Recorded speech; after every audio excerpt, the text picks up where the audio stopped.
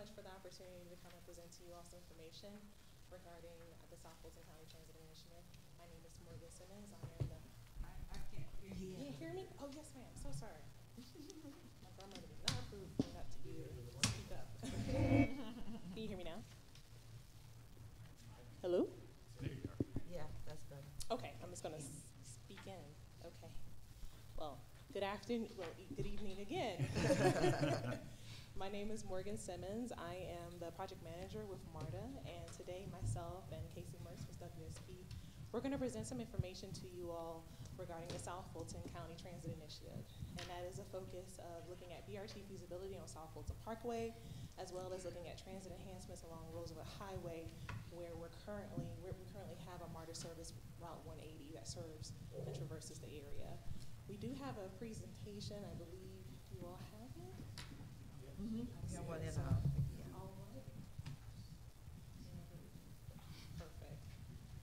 thank you so much.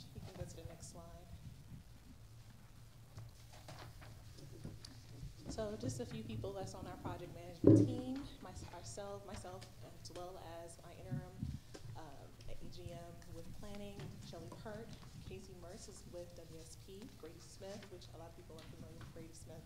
He's with VHB and a part of this pro- project. As well as we have the collaborative firm, Michael Hightower and Kathy Warner. Um, they're also part of this project and they're a big part of the engagement, the coordination that's necessary for the project. And at any point, y'all can't hear me, let me know, please. All right, project focus. Next slide. So just to kind of remind us of how we got here, there's been a lot of plans, a lot of studies been done regarding the South Fulton Parkway corridor as well as the Roosevelt Highway corridor over the last couple years, dating all the way prior to 2018, with the county comprehensive plan looking at these corridors as, a- as important arterials within the South Fulton, Southern Fulton County area, um, looking at the access management study that the GDOT did, and, um, and even just looking at some smaller studies, the LCI that Fairburn did.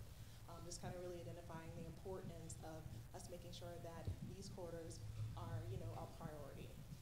Of course, with 2018, um, Fulton County had the transit master plan that was adopted that identified both Roosevelt Highway as well as um, South, Ful- South Fulton Parkway as arterials of interest and so and of need of high capacity transit, whether it be ART, whether it be BRT, and so forth.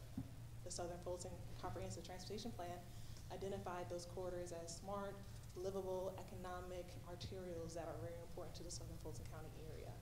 And of course, last but not least, the 15th Amendment that was passed that identified that South Fulton Parkway be investigated and identified and assessed for transportation opportunities and transit needs.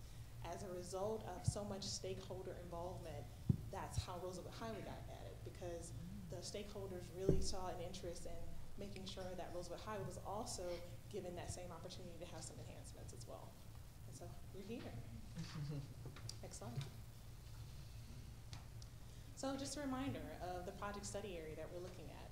Um, we're looking at South Fulton Parkway, that BRT feasibility, traversing from all the way from Campbellton Fairburn Road, going into the College Park Station area, and then with Roosevelt Highway, that's traversing all the way into Palmetto. Um, so we'll, and we'll talk a little bit about, with this particular presentation, what are some of the things that we're looking at, the schedule, and so forth. Next slide. And of course, just a reminder that as we're going through this process, we're always trying to make sure that we're understanding the different modes that are at our disposal. Um, I'm so grateful for where we are in transportation because we do have such a, a a facet of um, opportunities from a transportation standpoint. Um, you, and so we put this here just to kind of show you that cross comparison of the different modes from local to ART to BRT. Not only just looking at it from a station spacing standpoint, uh, a span of service standpoint capacity, but also keeping in mind the planning and construction time. You know, if we're wanting to put something on the street pretty quickly, there's certain things that's gonna go a little bit quicker than others. So just always making sure that we're having a full picture as we're looking at the different modes. Next slide.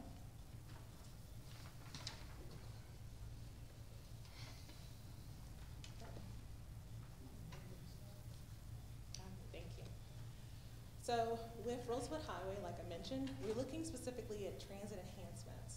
So those transit enhancements are gonna either include be a, be improved stop, which is gonna be kind of your standard, your shelter, your landing pad, that technology that's there. Um, or it's gonna be a super stop, depending on the ridership and the demand that exists there. Um, that's gonna be the larger canopy structure. It's gonna be, um, more of a shelter-like amenities that are associated with it. Um, so we're looking at that and assessing that and kind of going through that as we're going through this process. Yes, ma'am. What would determine a super stop? Um, so for Superstop, it, a lot of ridership demand, if there's existing a lot of demand there, if there's an opportunity for us to capitalize on real estate that's, uh, that's available, um, if we recognize that there's a, um, a certain level of land development that's taking place, if it's not currently there, if it's coming. So we're keeping all of those things in mind. So as we're going through this process, the first part of it is looking at existing conditions and looking at what, what are we work with? And that'll help us to move forward. Okay, thank you. Very good question. Next slide.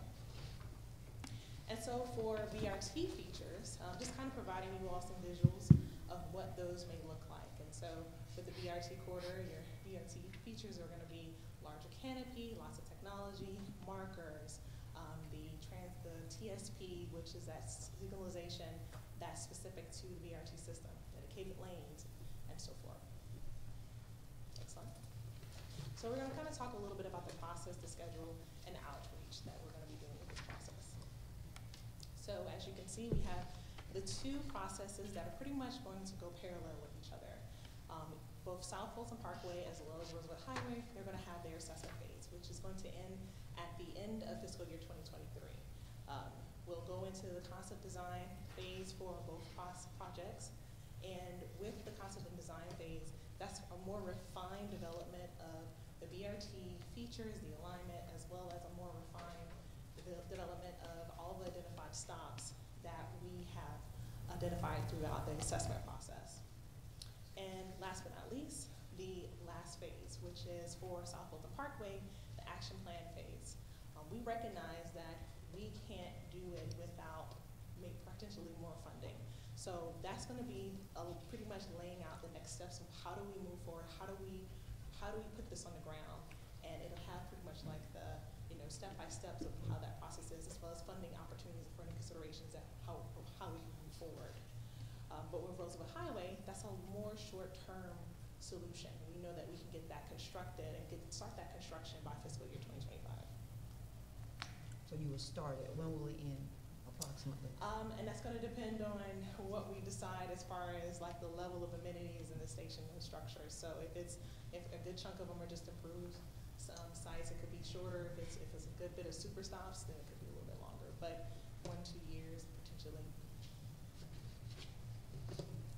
So like I mentioned earlier, we're in the assessment phase now, and a part of that phase is these different, um, these different components. Um, we are currently in the existing conditions phase now, which is one of the engagement points that we come, that we're coming to all of our stakeholders, just to one, did we capture everything? And so Casey, when she comes up, she's gonna talk to you a little bit about some of the things that we're seeing, some of the key characteristics that we're seeing on each quarter. We've also been meeting with the technical staff for all of the municipalities so that we're walking through and making sure that we have captured everything. Um, GDOT is another one of our technical partners, so we wanna make sure it aligns with some of the work that they're doing. Because we would hate to put that kind of investment and then another project comes back through and just messes up. It happens more often than you think, so we don't want that to happen. It's a, um, so, we're trying our very best to make sure that we're working as close as possible with our partners. So like I mentioned, the different engagement points. The, over the next few months, we will have three engagement points. We're currently in one now, um, where we've had an opportunity to meet with mayors, meeting with city councils. Um, we've met with stakeholder agencies such as South Fulton Parkway Alliance and others that are interested. And then, of course, we'll have the public meeting where we'll, it'll be a virtual meeting, giving people another opportunity to be able to get an understanding of the project, get an introduction of the project. Because a lot of people aren't aware of it. So we're doing this initial engagement and trying to do it as big as possible just to get people interested in knowing what's what. And also for us to make sure we have all the stakeholders at, the table. So when we have the next two engagement points, one later this year and one early next year, that will be actually bringing deliverables so that people can look over and make comments plans and make this, so that we can all make decisions together. Next slide. All right, so Casey Mertz is gonna come up and she's gonna talk to you a little bit about the key characteristics of each of the quarters, And then we'll just wrap up and, um, and be open to any questions that you have. Okay. Thank you so much, Morgan. Um, hello, thank you for having us this evening. It's my pleasure to be here. Yeah, let me move a little shorter than Morgan. How's, how's this? I feel like it's gonna fall. Is that good? All right. Um, so happy to be here this evening. My name is Casey Mertz. I'm with WSP. I'm working very closely with Morgan and Marta on this project. Um, so Morgan just walked me through our process um, for this project, and she kind of teed me right up. So the, the phase that we're in right now that we're concluding is our existing conditions phase. So that's where we're collecting information, talking to lots, lots of folks along the corridor, all the different jurisdictions. Um, definitely talking with GDOT, trying to understand what is out there today. Um, as we collect all that information, we're thinking about our next phase, which is our conceptual development phase. So all the information that we're collecting here is gonna help us decide how to, or help inform what types of transit concepts we're gonna be looking at in the next phase. And that'll also conveniently be our next, um, outreach touch point, um, later in the fall, which Morgan also alluded to. Um, so if we did our job right here, none of the information that To you should be too surprising. It should all make a lot of sense and, um, you should say, yep, that's what our corridor looks like. So, um, today, looking at, we'll start with South Fulton and then we'll move into the Roosevelt Highway, uh, twenty-nine corridor. Um, so the South Fulton Parkway today, um, relatively low density, some pockets of some industrial and residential. Um, you'll see on this, uh, current land use map, a large swath of green, so that's our undeveloped area. Um, and so what we're seeing here is a lot of opportunity. So lots of low density, but lots of opportunity to do the good planning work now, to, to line our transit plans with future land, um, as it, um, as it becomes developed. Um, being a transit project, we're paying very close attention to uh, pedestrian and bicycle uh, facilities and what's out there today. There's not a lot on the corridor on the parkway today. There are some um, some small spots um, improvements that have happened over the years, but um, there's large gaps of, um, of missing bicycle and pedestrian infrastructure, which is really critical for transit users. Is how they get to and from their uh, to their bus stops. Um, and so we're also going to be looking at um, the MARTA, existing MARTA service, and I'll have a little bit of information about that um, later as well. And go to the next slide, please. Uh, so this is looking forward at our future land use. So you see that big swath of green has changed colors. So we're now in that gold and green and blue. So it's um, and some purple in there. So we're looking at um, more mixed use development, um, some additional um, um, industrial and, and multifamily um, development as well, um, coming down the, the pike in the future. Um, so there's really the potential here to build on all of the great work that's happened in the past that Morgan mentioned early on, um, um, and, and look at some opportunities to align our transit with um, mixed use and, and higher density um, development.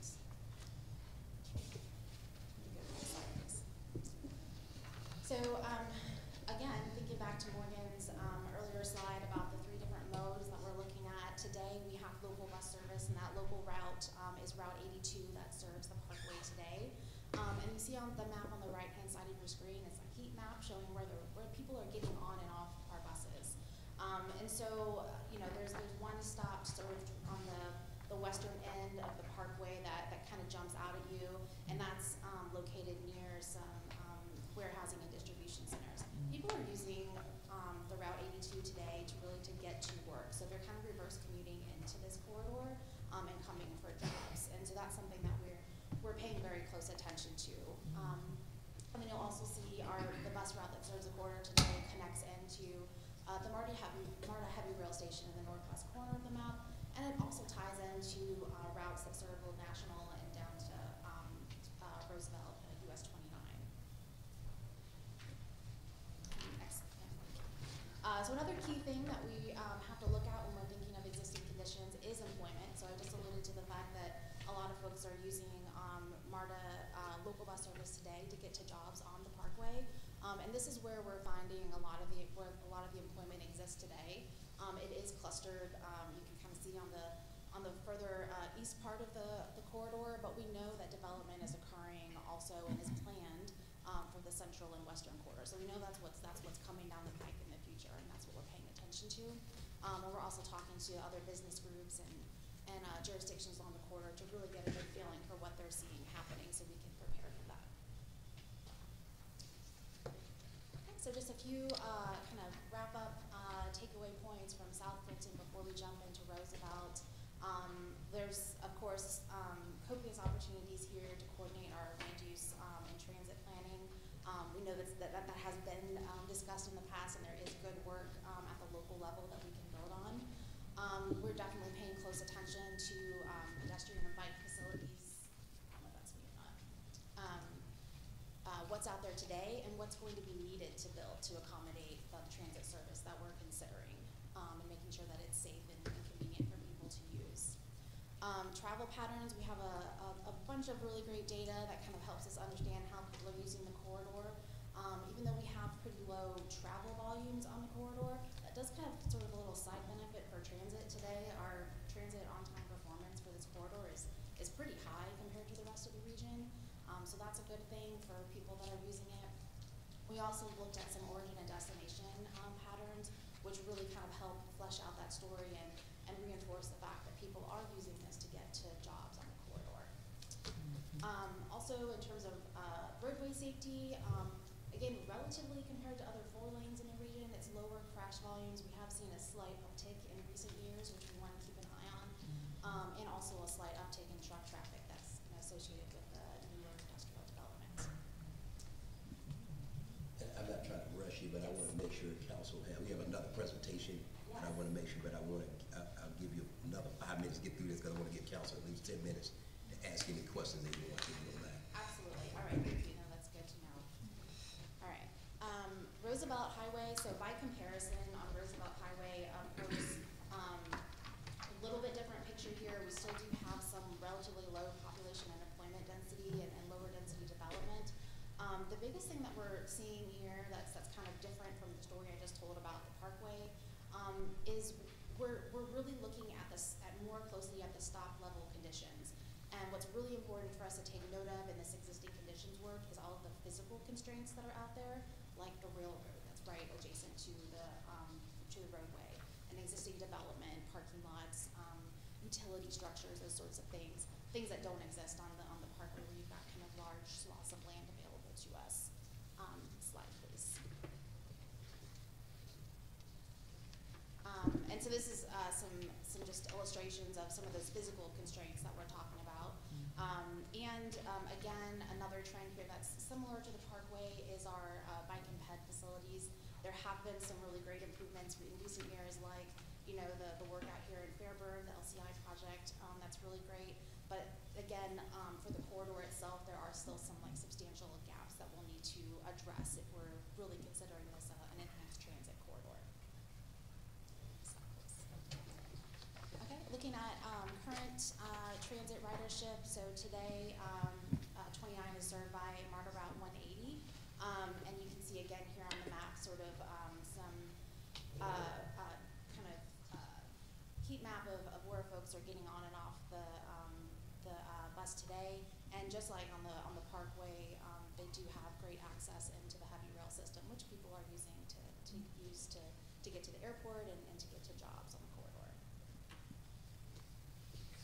Um, so a difference uh, here between what we did on the Parkway and what we're doing on 29. Um, really here we're focusing in on the stop specific locations, and so this is just a list of the things that we're doing a deep dive into at each stop location, including uh, this example here at Buffington Road. Um, looking at the current uh, roadway infrastructure, utilities that could be, um, you know, a hindrance to, to building out stations, available parking if we're, if we're considering these to be parking ride uh, lots, um, lighting, land use and zoning, again, kind of looking at those um, potential to, to plan uh, future um, developments along with transit enhancement, and then ridership. Where are people using it today, and where are they likely to use it in the future with enhancements? All right, and then uh, this is our last bit on Roosevelt. This is just a quick look at where we're considering stations. And so again, we are wrapping up that existing conditions phase, and this is really going to be the heart of our discussion going forward in the next few months. Kind of taking a dive and, and looking at are these the right the right places to look at for stops? which stops are, um, perhaps, um, should be elevated to the super stops, having, going back to the discussion with Morgan earlier, um, and which should be improved stops. And these are just kind of some examples of the, the differences between the two in terms of amenities. Okay. Um, just a few takeaways, of course, um, we've got a little bit greater density than we saw on the Parkway earlier. Um, lots of different, um, I mean, both of these, both these corridors touch seven different jurisdictions. So there's lots of opportunity for coordination here, um, with the jurisdictions and with GDOT.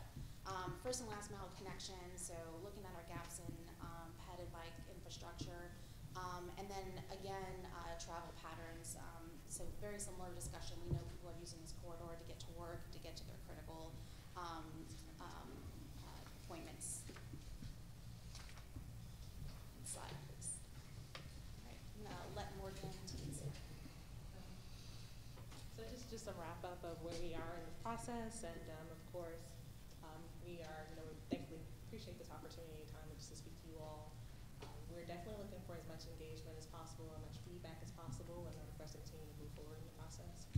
And, um, this is really like the last substantial slide, but otherwise just a question, so if you all have any questions that you would like to ask at this time, we'll be more than happy, welcome to them. At this time, I'll entertain any questions. Mr. Whitmore, uh, will start, and then Ms. Portis-Jones, I can't see you. Do you have a question? Can she hear us?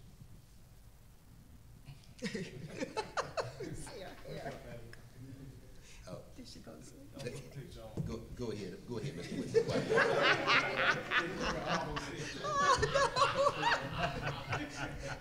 Somebody needs to text her. Go ahead, Mr. Whitmore. Thank you, Mayor.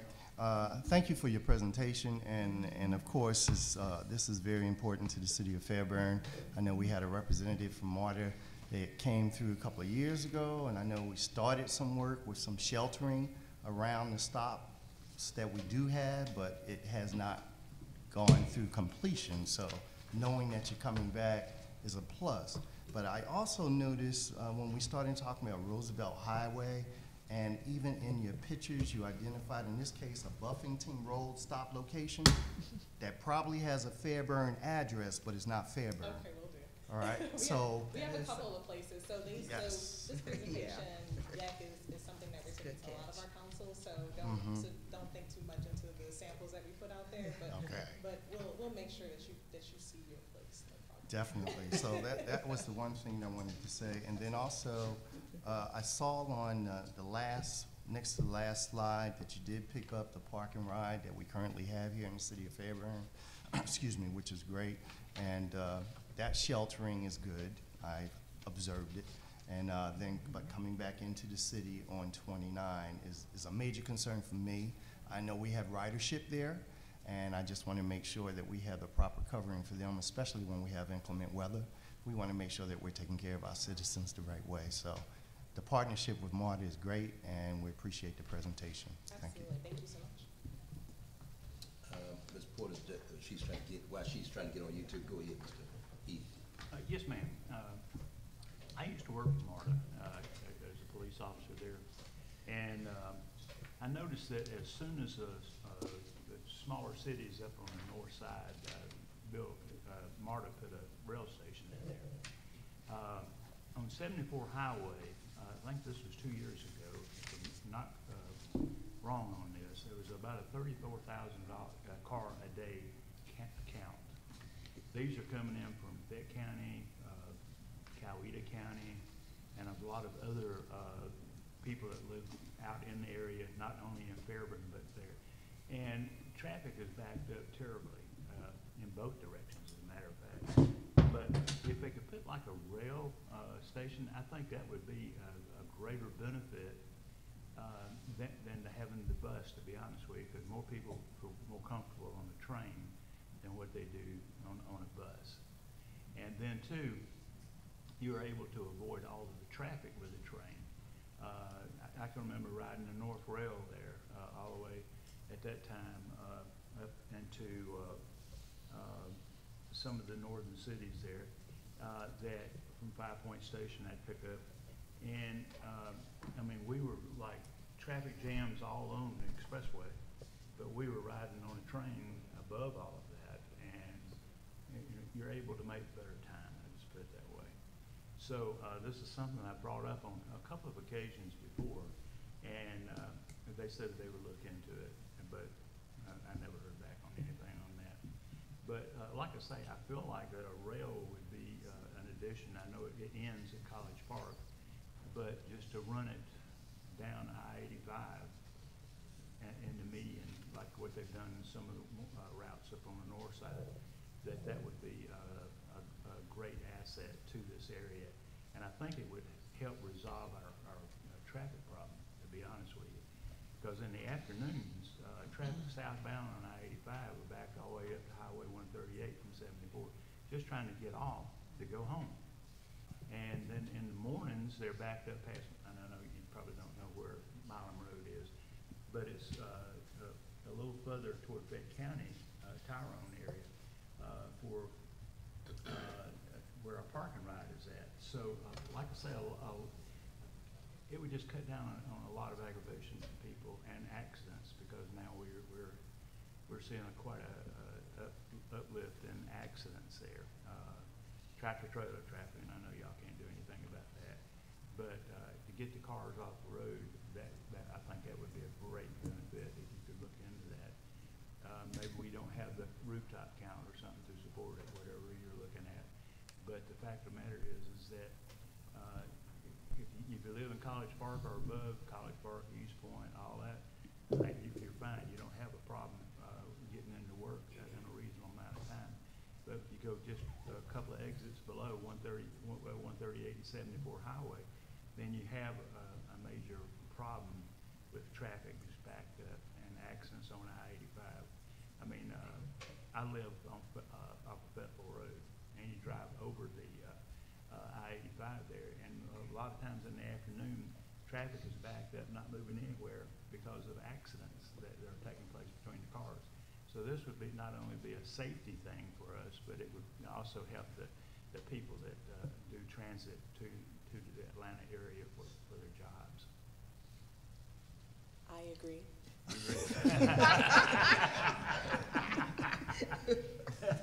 That's the easiest answer I can give you. I do agree with that. Um, Yes. However, I will say that a part of this process, like I mentioned, like we mentioned in the presentation, we look at all the modes and I look at all the, you know, there's a, there's opportunities, there's trade-offs with any of the modes that we select. Um, there's a cost, there's a time, um, all those things. And so we'll be looking through that throughout this process. As far as some specifics regarding that cross comparison, I would be happy to send you something to kind of show you uh, the, the, the, pretty much the gamut of from bu- bu- local bus to commuter rail, and you can kind of see for yourself. So I'll be more than happy to do that for you. Oh, that'd be Just terrific. absolutely. Thank you, ma'am, I appreciate that. Thank you. All right, I've got uh, Councilwoman Jones, that's on, uh, Mayor Pro Tem on, on Zoom. Ms. Jones, go ahead with your question. Ms. Jones? Okay, she's not here. Well, it looks like it's, it's Her- muted. her- Is- is it when mute? keeps coming up. Her sound. that- that little- Yeah. I don't know if that's them or us. That's not her It's not sound, that's not her sound. That's why this The capability podcast is there. says that's. Yeah, that's what I'm saying, that's probably us. I don't know why. It's- Right now, Okay, she's good now? she's talking. She's talking, but see, but we the can't little hear it. Flashing thing on the left is like Xed out with the sound.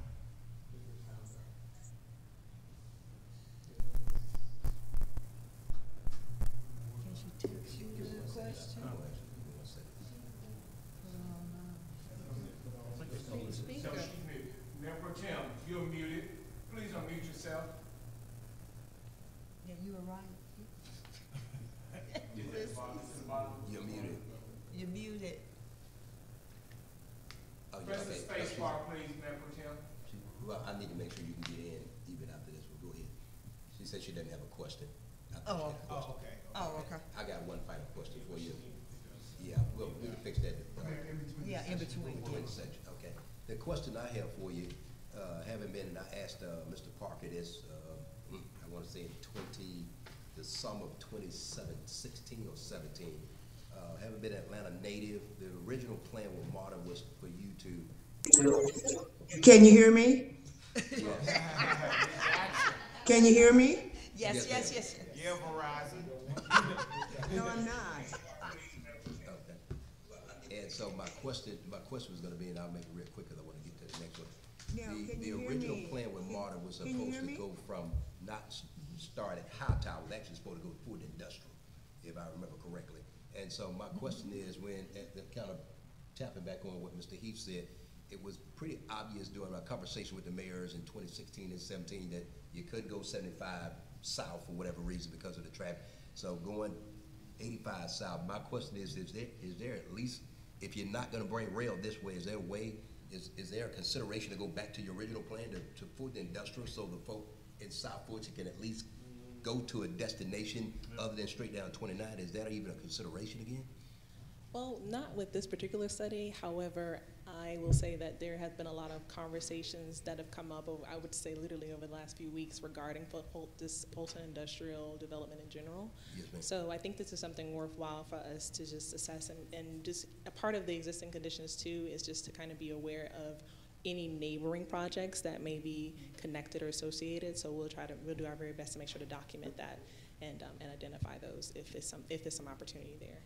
Okay, and, and, and my point, and I'll close with this point, my point, it was pretty evident, literally myself, Mayor Williams, uh, Mayor Boddie, I can't think what other mayor, I wanna say Holman, uh, pretty, was pretty adamant about that, for whatever reason, why we can't get the consideration for modern, for rail to come this way, and that's when we brought up the situation and, uh, with the situation with, in this case, for the industrial, because everybody trying to get on the rail, driving, driving to College Park or East Point from down twenty-nine, it's a, it's a bottleneck, so that was just a consideration that, I don't know if it, gonna, you know, just died, but that was something, if you can't come this way, if there's any kind of way, uh, for it to, uh, for us to consider. So, that, with that being said, thank you all so much for your presentation. Thank you very much. Thank you.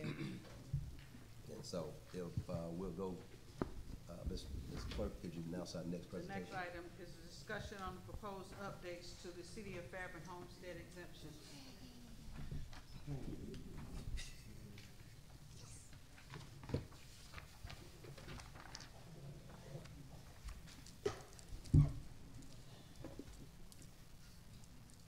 Good evening, Mayor, council members, and citizens of Fairburn. Good evening. Last month, the city administrator's office had a retreat with mayor and council. During the retreat, the three R's were discussed, refresh, rebrand, and renew. Many great ideas and projects came to light during the retreat.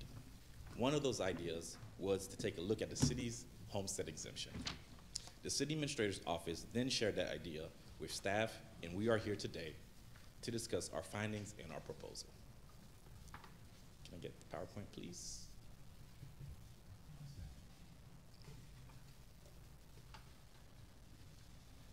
Uh, Next slide.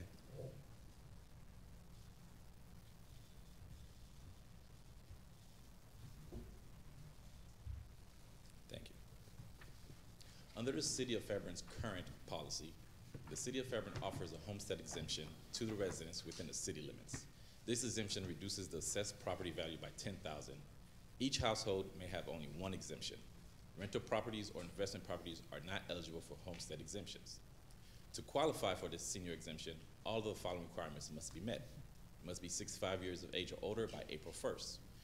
Residents must live in the home. It must be the primary. The income requirements for a single individual cannot exceed fifteen thousand eight hundred. For a married couple, it can't exceed thirty-one thousand six hundred. You must provide a current driver's license and all vehicle registrations. Next slide, please. The proposed recommendation by staff would be to remove the income requirements. This would allow all of our seniors who are sixty-five years of age or older to qualify for the exemptions. Next slide, please. Our current policy for disabled citizens is you must be sixty-five years or older of age or who is disabled by April first. Same living requirements, and you must live in the city and it must be your primary home. The income requirements are the same as the senior exemption. The only difference with the disabled, you must have three physicians that are licensed to provide medicine in the state of Georgia, must complete and sign a certificate provided by the tax assessor's office to Fulton County. The signing physician must certify that one or more individuals listed on the deed are mentally or physically incapacitated to the extent that they are unable to be gainfully employed and that such incapacity is likely to be permanent. Next slide, please.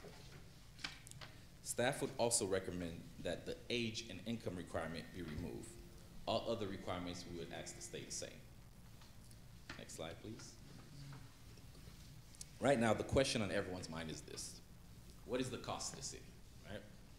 The 2020 census stated that the city of Fairburn has roughly 1,100 seniors over the age of 65. The exemption tax break is 10,000 off assessed value. This is a savings of $81 per exemption. Currently, we have 174 seniors slash disabled citizens receiving the exemption, which equates to roughly 14,000 of foregone revenue, which means money that the city is not collecting. If approved, these are the potential cost increases. If the, esti- the estimates on the screen that you can see on the table, if it increased by 50%, which means another 261 seniors, our foregone revenue will be 21,000. 75%, that's 305 seniors, foregone revenue is 24,000. All the way to 150%, foregone revenues will be 35,000. Next slide, please. Each year, the city collects roughly six to seven million dollars in real property taxes. Staff believes that establishing these new changes would have minimal impact to the city. Our current policy for disabled veteran, peace officer, and firefighters. The city of Fairburn offers a homestead exemption to residents within the city's limits who are veterans or widows of veterans. These exemptions reduce the assessed property value up to fifty thousand. Each household may have only one exemption. Rental properties or investment properties are not eligible for the homestead exemptions. Now, to qualify for this exemption, the applicant for the property must own and physically occupy the property as their primary residence. The applicant must have lived in the property as of January 1st of that current tax year. Must be 100% service-connected disability. Must provide a letter from the Department of Veterans Affairs or Department of Veteran Services stating the qualified disability. Next slide, please. There are currently three types of exemptions. The full value, which is fifty thousand dollars assessed value. To receive this exemption, you are the unmarried widow, widower of a peace officer or firefighter killed in the line of duty, and you are a resident of the state of Georgia. The next exemption is this disabled veteran. You also get fifty thousand of assessed value. You are certified by the Veterans Administration as having one hundred percent disability. This can be extended to unmarried widow or minor children. Under this exemption, if you are 99% disabled, you get nothing. The next exemption is the veteran surviving spouse. Exemptions up to 50,000 of assessed value. You are the unmarried spouse of a military member killed in combat. Slide, please.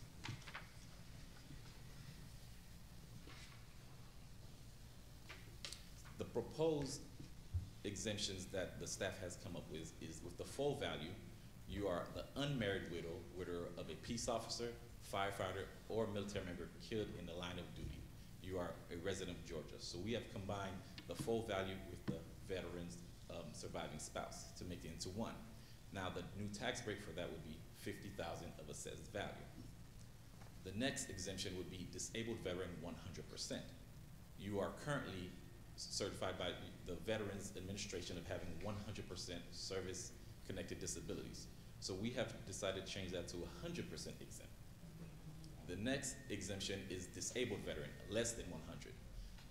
From multiple conversations, city administrator's office and staff, we recommend that if you are a veteran and you have any type of disability, you deserve some type of exemption.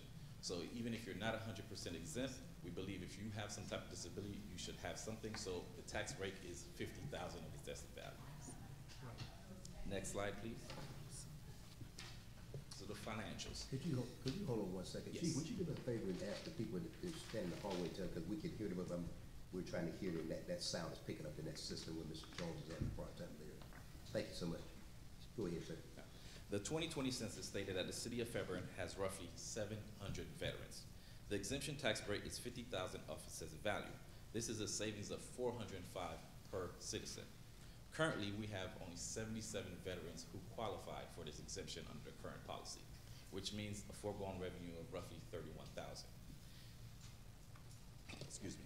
If approved, the 77 veterans would be 100% exempt, which is roughly a foregone revenue of 48,000.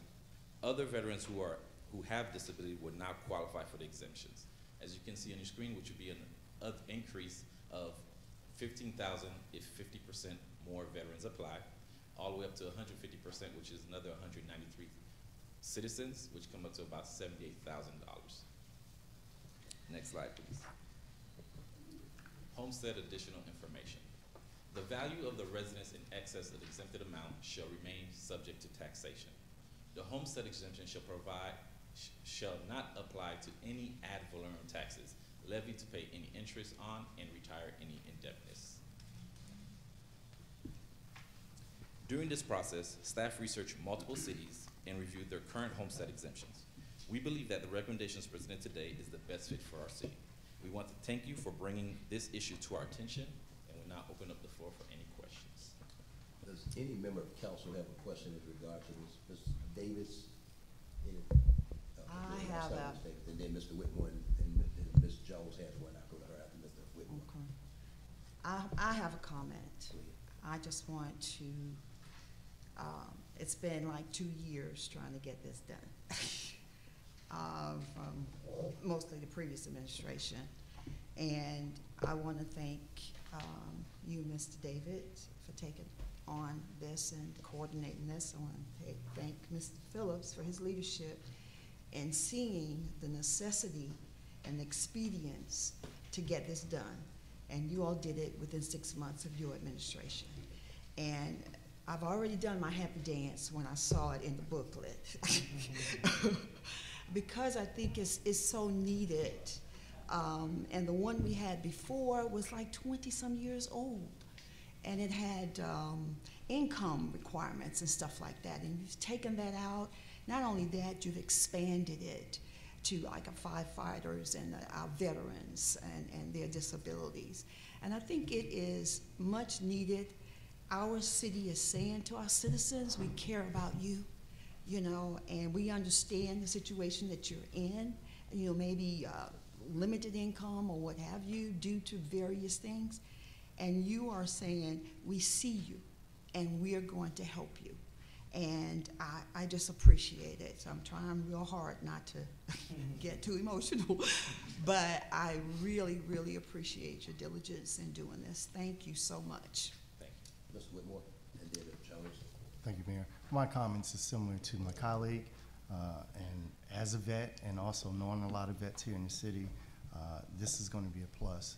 Any way we can assist those that uh, went out and fought for our country, it's a way of showing honor to them. So just by the city doing this, it does mean a lot, and I thank you, staff, for your diligence in researching and coming up with something that is palatable, that we can actually activate and make happen in our city. So I want to say thank you, staff. Uh, Ms. Jones?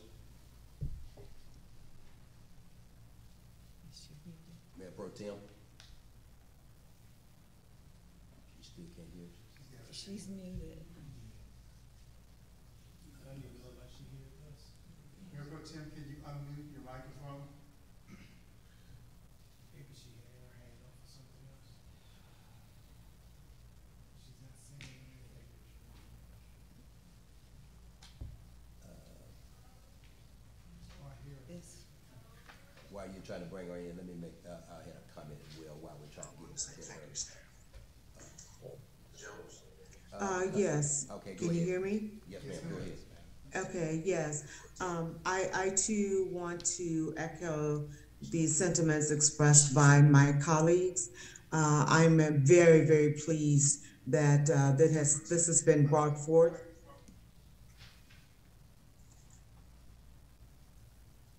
Yes, I am very pleased that this has been brought forth, um, to mayor and council for, uh, review, uh, and approval.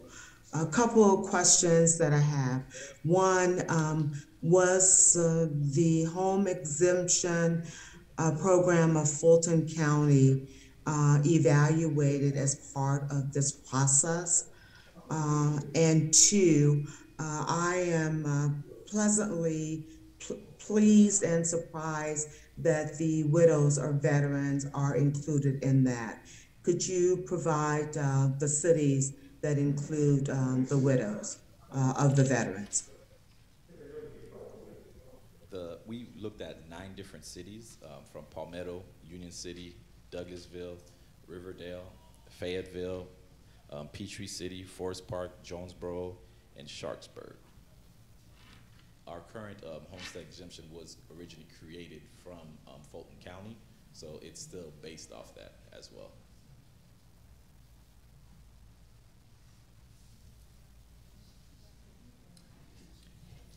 Did you get your question? Uh, There's a bit of a delay on the Zoom, so I was just wondering. Okay. Uh, I'm trying to make sure she doesn't have any additional questions.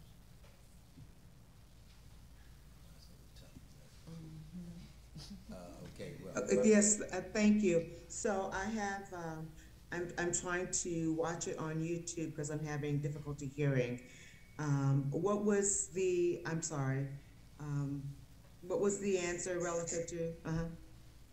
Um, the cities that we looked at was Palmetto, Union City, Douglasville, Riverdale, Fayetteville, Sharpsburg, Peachtree City, Forest Park, and Jonesboro.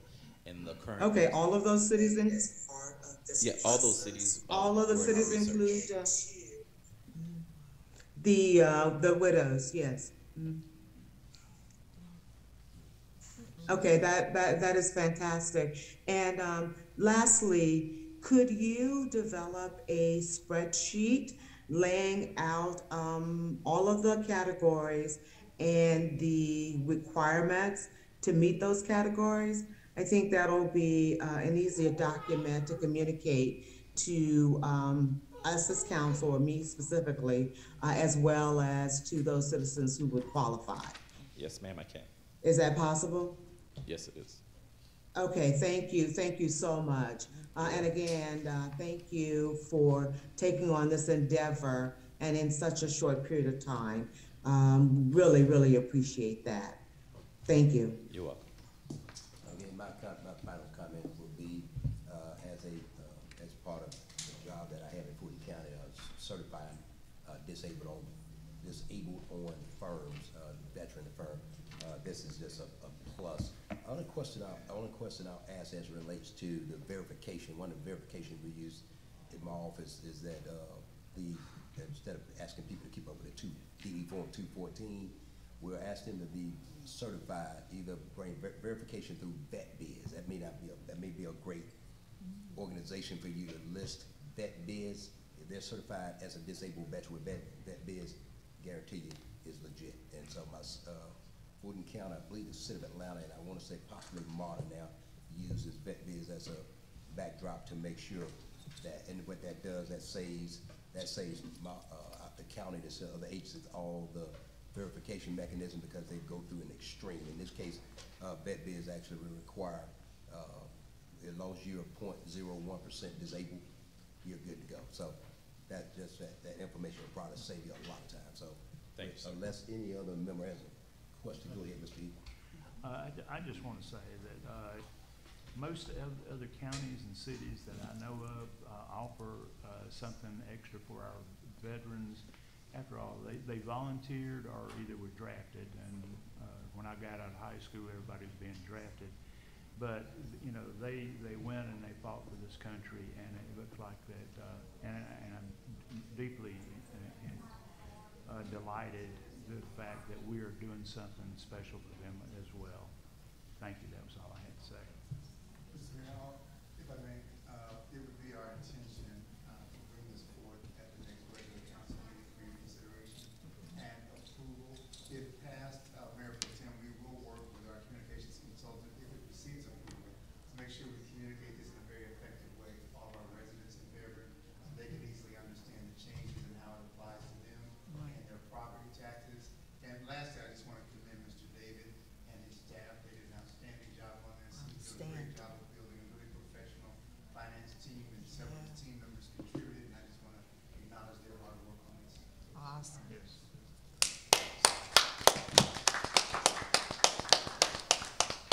Thank you very much. Uh, with that being said, that was our final item, uh, correct, Mr. Phillips? That, that's our final item in the workshop. Uh, meeting will stand adjourned until seven o'clock.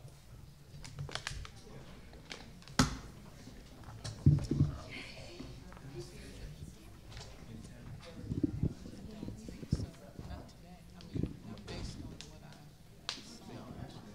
I saw.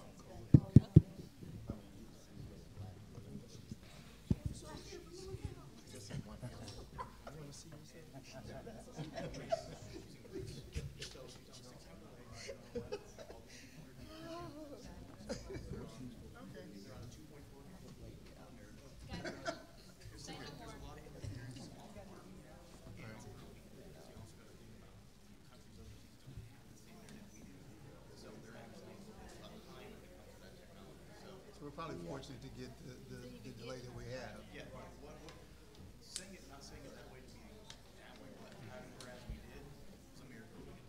I've done that before, and it's wonderful. Gotcha.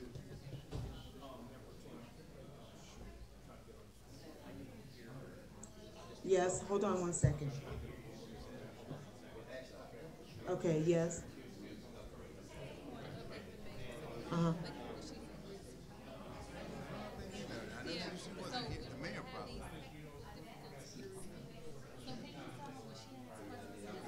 Just as she did, she did, and Mayor, Mayor, Mayor sees something, she raised her hand. Awesome.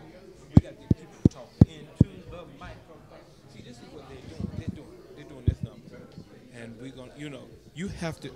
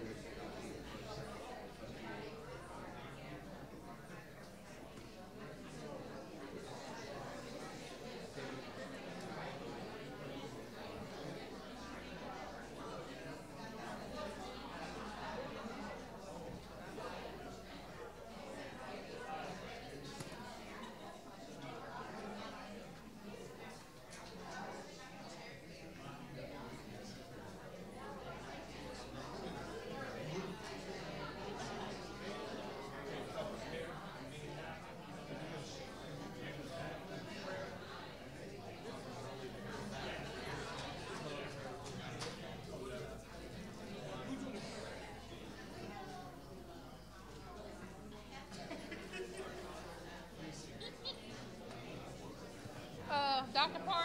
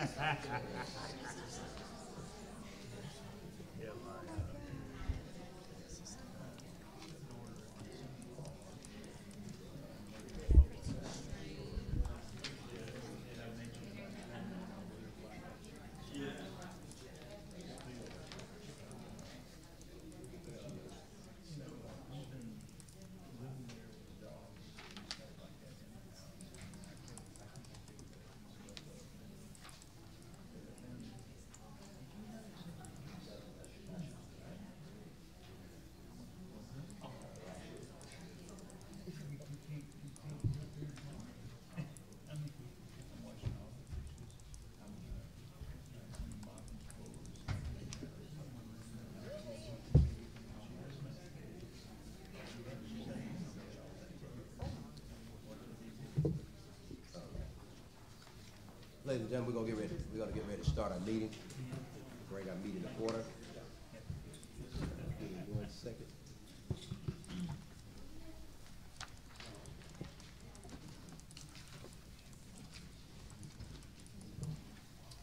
Before I start the meeting, can I just get a show of hand uh, for uh, the item, the Liberty Community? Can I just get a show of hands of how many people here in, first of all, start with in support?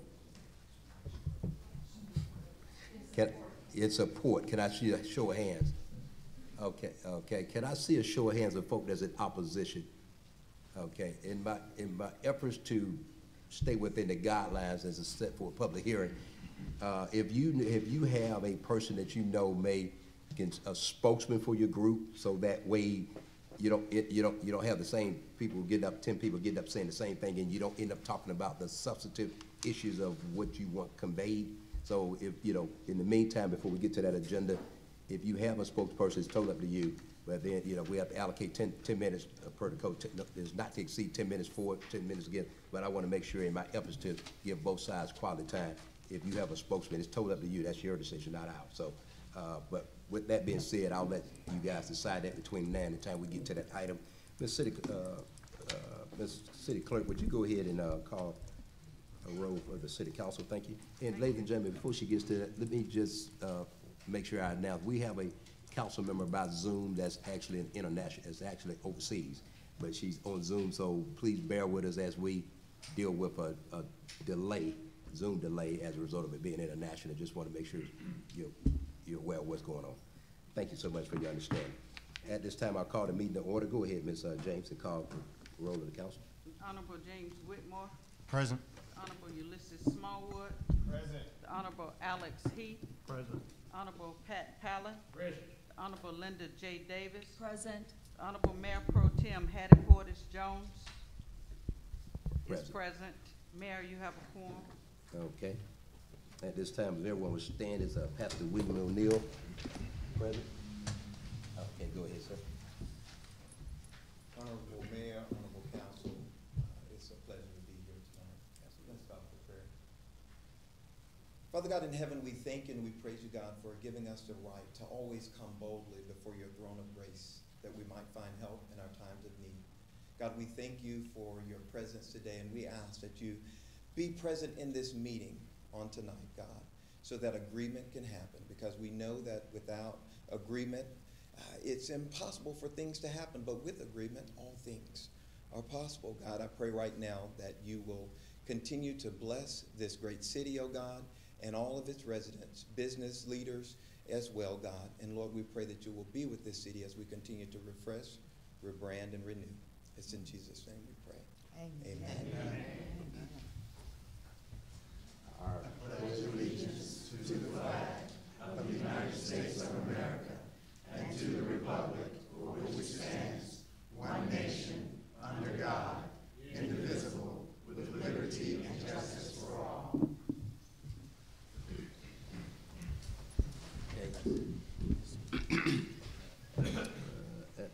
time, we do not have any presentations or uh,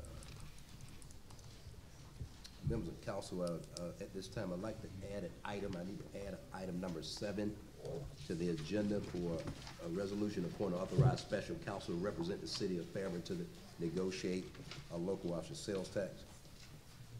Uh, In this case, can I get a motion to adopt the agenda with that item added? So move. Second. Motion's made by Mr. Whitmore, second by Mr. Heath. All in favor, say aye. Aye. All opposed? That motion carries. At this point, uh, approval of our city council minutes. Give me one second. You have before you a city council minutes that uh, commenced on May the twenty-third, twenty twenty-two. Is there a motion to approve? So moved. Is there a second? Second. Motion's been made and properly seconded. Are there any corrections? Seeing none, all in favor say aye. Aye. All opposed? That motion carries. At this point, we'll have our public comment. Our public comment, thirty minutes will be allotted for public comment. Each speaker shall be limited to three minutes. However, uh, a speaker may transfer his or her three minutes to another speaker, but no speaker shall be permitted to speak for more than six minutes. Further in the event, if more than ten speakers desire to speak, each speaker will be limited to two minutes, and no speaker may speak for more than four minutes. Issues raised at this time will be generally referred to the city administrator for review. Responses will be provided at a later date. Uh, Ms. City Clerk, how many speakers do we have? Mr. Mayor, we have four speakers. We have four speakers, so we'll, we'll stick with the three-minute interval. Uh, go- would you go ahead and call our first, first speaker? Stephanie Pugh.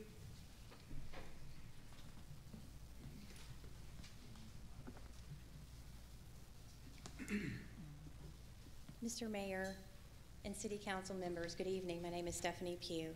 I am speaking on behalf of my mother, Diane Lee, and me at 8850 Gillette Road, my uncle Donald Lee at 8830 Gillette Road, and many in the neighborhood. We are adamantly opposed to the project. I have a lifelong connection to this immediate area. I was born and raised at 8850 Gillette Road, which is very close to the subject property. My mother still lives at the property, which I co-own with her. The subject property was originally owned by my grandparents, and my uncle still lives adjacent to the subject property. As one of the leaders of the Line Creek community, I have had the privilege to work with many neighbors who also oppose the Liberty Communities project. I have spoken with most, if not all, of the neighbors who own and reside on properties from Gillette, Johnson Bohannon, Kleckler, Mann, Creekwood, Landrum, Kirkley, and Goodland Roads. Everyone I have spoken with agrees that this proposed development is not in the best interest. Our concerns have been expressed to the city's planning and zoning staff in the Planning and Zoning Committee hearing on May 3rd, direct, and directly to the Liberty Community Team. We strongly oppose this high-density development. It does not fit into the character or landscape of our existing community. It would dramatically increase the traffic, which according to Liberty's own traffic study, will generate 1,877 new car trips per day. That incredible traffic load, coupled with a significant volume of unlawful traffic, tractor trailer traffic, continue to escalate the disaster on our roads. This in turn will force Fairburn to expand and signalize the already dangerous four-way stop at Gillette and Johnson at the city's and taxpayers' expense. Additionally, per the study, schools are already overburdened and overcrowded. We have two meetings. We had two meetings with the developer. The first meeting was informative in that they int- introduced the project and asked the community for feedback. The second, second meeting held after the project was recommended for denial by staff and voted against by the Planning and Zoning Committee was a total waste of time. Going to the second meeting, we were under the mistaken impression Liberty had taken the prior input seriously and were ready to present a significantly revised plan. Instead, they wanted to, us to discuss our already stated concerns as a pretext to urge us to accept the change embodied in the project they proposed. They did not listen, but instead were argumentative. They did not offer a revised project that would conform to the existing one house per three acres agricultural zoning, but instead want the community to support their significant upzoning. Their approach seems to be characterized as when you're a hammer, everything looks like a nail. Rather than choose to work with the community and submit a project that conforms to the current zoning, both the developer and the landowner shifted to threats. One of the Liberty spokesmen made the comment on the second call that it was better to accept this than something worse and followed on by stating Ma'am, that your the. time, your time is up. I apologize. Can we go to the next speaker? Donald Lee. That's my uncle who is going to give me his time. Okay, where's Donald? Okay. Is Donald Lee? Okay, go ahead. accept something worse and followed on by stating that the landowner wanted to make a lot of money, so we needed to just accept it. Since then, several neighbors have reported that the landowner has approached them asking for their support of Liberty's project. When confronted with their opposition, he has reportedly become agitated and angry, threatening to use the property as a pig farm for the sole purpose of, quote, stinking up the neighborhood, end quote. This mean spirited and unproductive approach has only stiffened our resolve to oppose this highly inappropriate project. In the developer's ruse to work with, appease the community that have appeased the community, they have only angered us. We as a community deserve better than idle threats. We are tired of people wanting to make money off their personal property and pushing the costs onto us, the nearby neighbors, and onto the taxpayers of Fairburn and Fulton County. In closing, we are asking you to stand by the 2040 comprehensive plan. As the Planning and Zoning Committee did, we are asking that you uphold the AG zoning and preserve our community as you promised when this plan was agreed upon and put forth. Thank you very much for your time this evening. Yes, ma'am. Uh, next speaker? D. D. Thompson.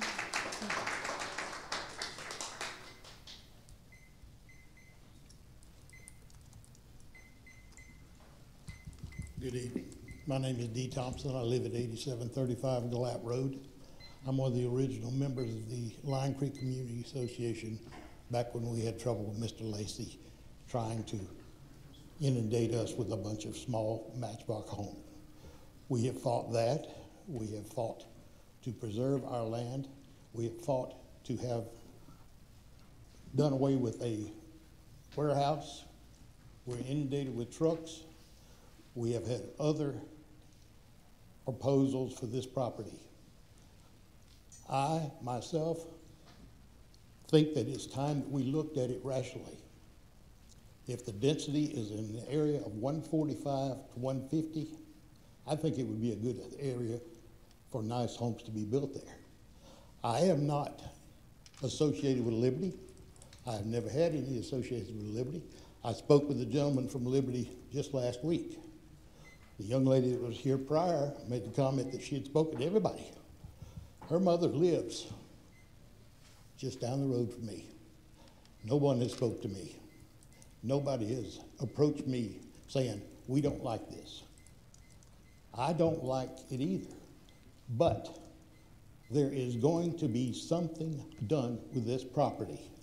I think that this would probably be the most conducive use of this property. If you have gone and looked in, in Palmetto at the other homes that this company has built, they are quality homes. The homes that they are proposed here, from what I've seen and what I've heard, are going to be of a better quality.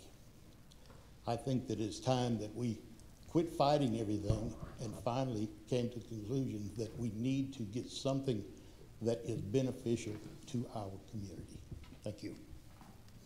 Thank you, sir. Lydia Glaze.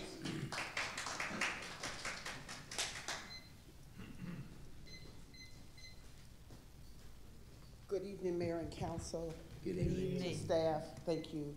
Um, I only came because this is not the, where we actually say we're for or opposing um, Liberty Homes. I want to use my time to say, first of all, as a citizen, for thirty-three years as a resident, I'm very excited about uh, what we've seen online with refresh, rebrand, and renew.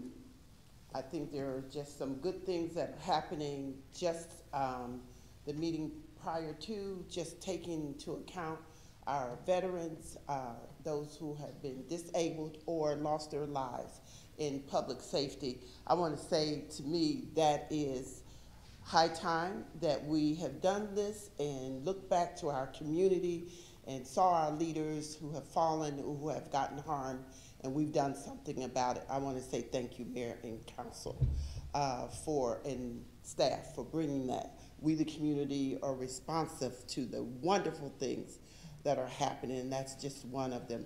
So I only came today because we're open back up. I hadn't been in City Hall, hadn't seen some of the folks, and I just wanted to say thank you. What I'm hearing and what I'm seeing is good. I appreciate it, and it's an honor to continue to be a resident of this great city. And I will be back to share a little bit about Line Creek and what's happening there. But thank you again. Thank you for your service. Thank you. That's the last speaker, Mr. Mayor.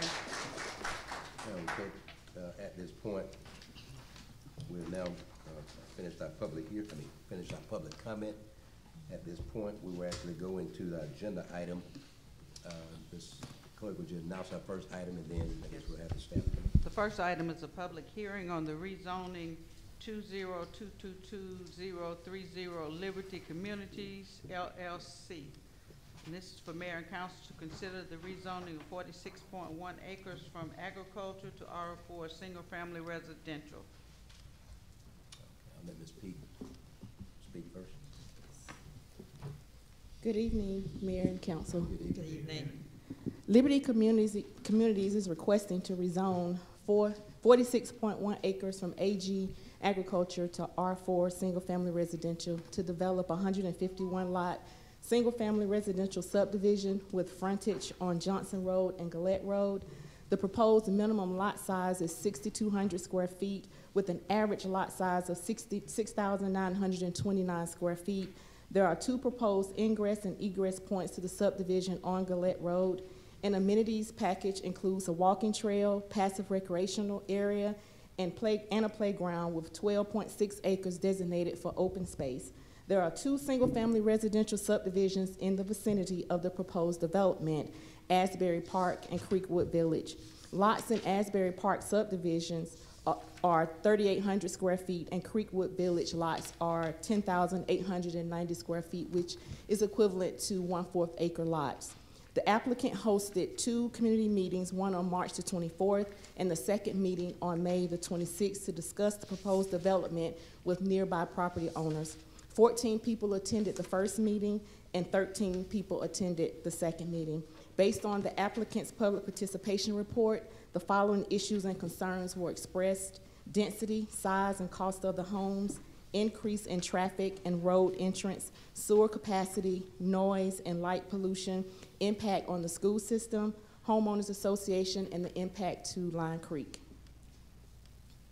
After the Planning and Zoning Commission meeting on May 3rd and the second community meeting, the applicant reduced the number of lots based on um, conversations with the community from 175 lots to 151 lots, which is a reduction of 24 lots.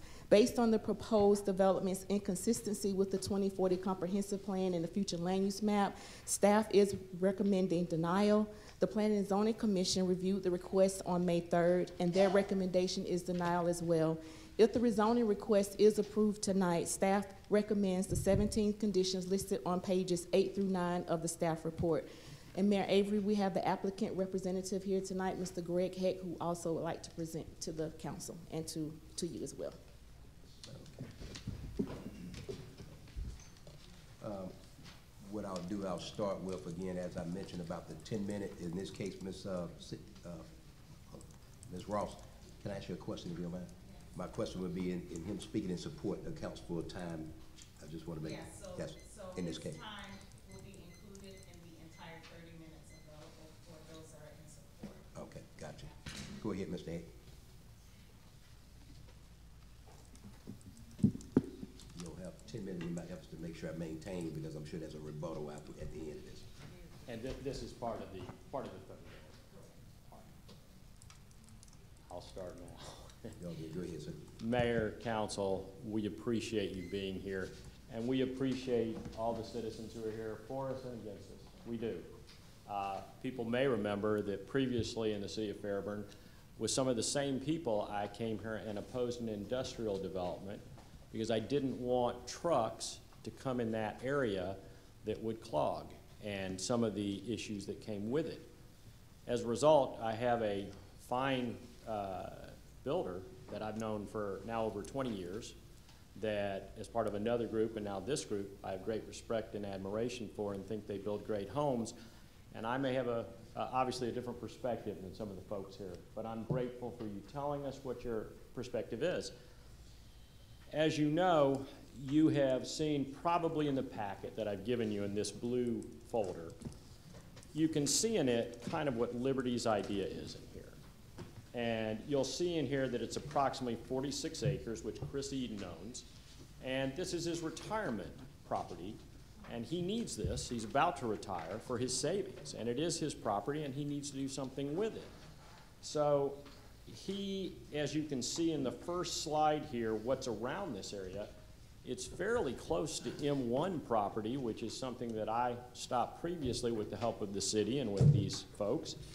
And now we're proposing something right next door to Asbury Park and very close to other subdivisions, which is housing, which is the least intrusive use you can have in comparison to what would go there, as opposed to a severe agricultural use, which I don't think there was any threat. Mr. Eden is a farmer and has said, if I cannot make this into houses, then I'm gonna have to do something else with it, and that's just the facts of what he wants to do. But if you look around here particularly, and, and there are people that have signed a petition actually to support it as well.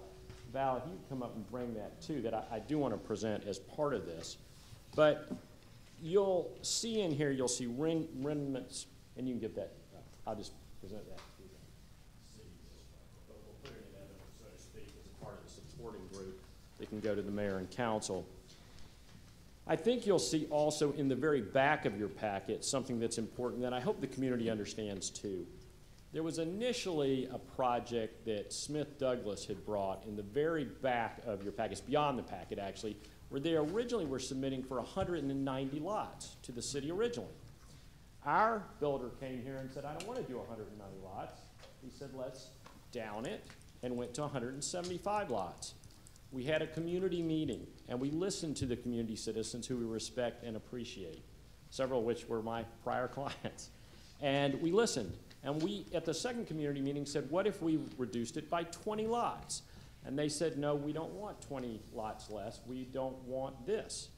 And so instead of 20 lots, we reduced it by 24 lots to 151 lots. And I think you can see that also in the very back of your packet as well.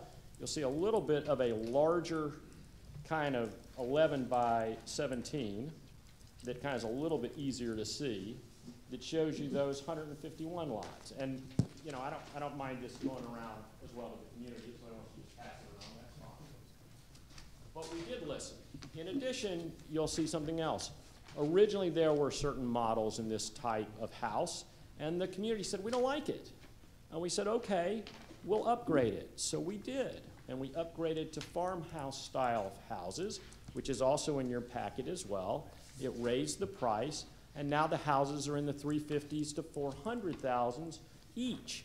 So we've lowered the number of lots, we've increased the cost because we listened to the community at more cost to the builder and less lots and less homes to the builder. In addition, this has much less density than you have Asbury Park next door. So the first thing the city attorney is probably going to talk to you about is equal protection of the law, as well as subdivisions around there. And the fact that M1 is very close by within 2,200 feet, which you can see as well. And also at the very last meeting, you'll see in your own minutes that the DRB group proposal was with greater density than ours approved when we have less density. So of course that's going to be an equal protection issue that we're going to have to bring up if this is denied. No one wants to do that. What this builder wants to do is work with the community and has worked with the community. And they may not like everything because what they asked for, which I understand, what they said was we would like to have one to three acre lots with houses starting at $700,000. Now, I understand that. It has some particular difficulty to me. I will tell you that this is going to be a family friendly neighborhood, as you can see from, the, from there. There's several acres of great green space, walking trails, a lake, beautiful playground. And yet, um, I understand wanting one to three acres and $700,000, but I want to talk to you about how this and who this means will not be able to go into this community if you had that. Now, I put in your packet, as you will see, who the city employs. It employs police officers, firefighters. In this area are nurses. In my family are lots of educators. And you can see, I put the prices in your packet of their employment. And your median income in this city is $55,000, which is on your website. So if you do what I appreciate what these citizens want, I do. Everybody wants one to three acres with $700,000 houses. The problem is, when I was an assistant district attorney, and when I was a Clayton County staff attorney, I couldn't afford that. And I was fighting to protect people from child molesters and robbers. And my friends who were testifying as police officers couldn't afford that. And my friends who were testifying on arson cases were firefighters couldn't afford that. And the median income of your people here can't afford that and they can't live there. And what this says is, and, and I put some other statistics in there for you so you know it. This is, frankly, this is not affordable housing. This is middle income family housing. And so I did put some statistics on what affordable housing is. The Atlanta Area Housing Foundation shows that there are 340,000 metro Atlanta families that are cost burdened with one third of their income going to their mortgage, which they, it says is unsustainable. I put a second article in there that by Senator Ossoff's office that said there are 200,000 shortage of affordable housing units. I put a third article in there. All these are very recent. It said that rents have gone up 85% in the last two years. And there's a fourth article that says 60,000 affordable housing units have vanished over the last five years. So I understand wanting $700,000 houses and one to three acre units. You've got two minutes, sir. Go ahead. But I, I can't abide by that because I lived in one of these subdivisions and I loved it. And I grew up in it. And my first child was born in one of these type housing, and for frankly, houses that weren't as nice as this. But I was very happy, and I've made lifelong friends from those. Down in Jonesboro was very happy, and I appreciated and loved all my neighbors. And some of them were actually the opposite political party than I was, and I still love them. But the point is, I think there's an opportunity to make a difference here. Now, I believe in this. I believe that you should have neighborhoods that are open for firefighters, for teachers, for educators, for nurses. You have the salaries right there. You have supporters right there. And I get it. And in terms of what we have done, well, we've lowered the number of lots. We've increased the prices of houses, probably that are not, they're affordable for middle America. They're not affordable for poor people, and we sure as heck ought to do a lot more for poor people. As somebody that spent 10 years in Habitat for Humanity and a prior president that I was, and has been a housing authority attorney, I can tell you this is not affordable housing for poor people. But it's a start for middle income people that you hire right here at this city.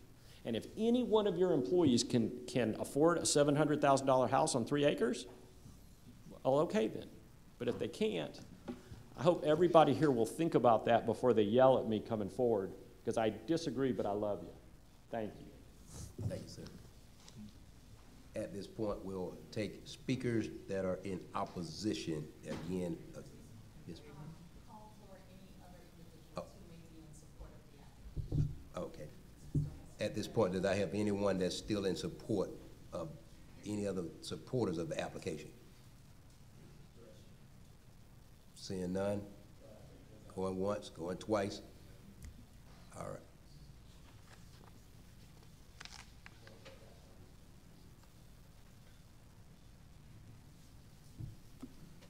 Go ahead, sir. Mayor, Council, everybody.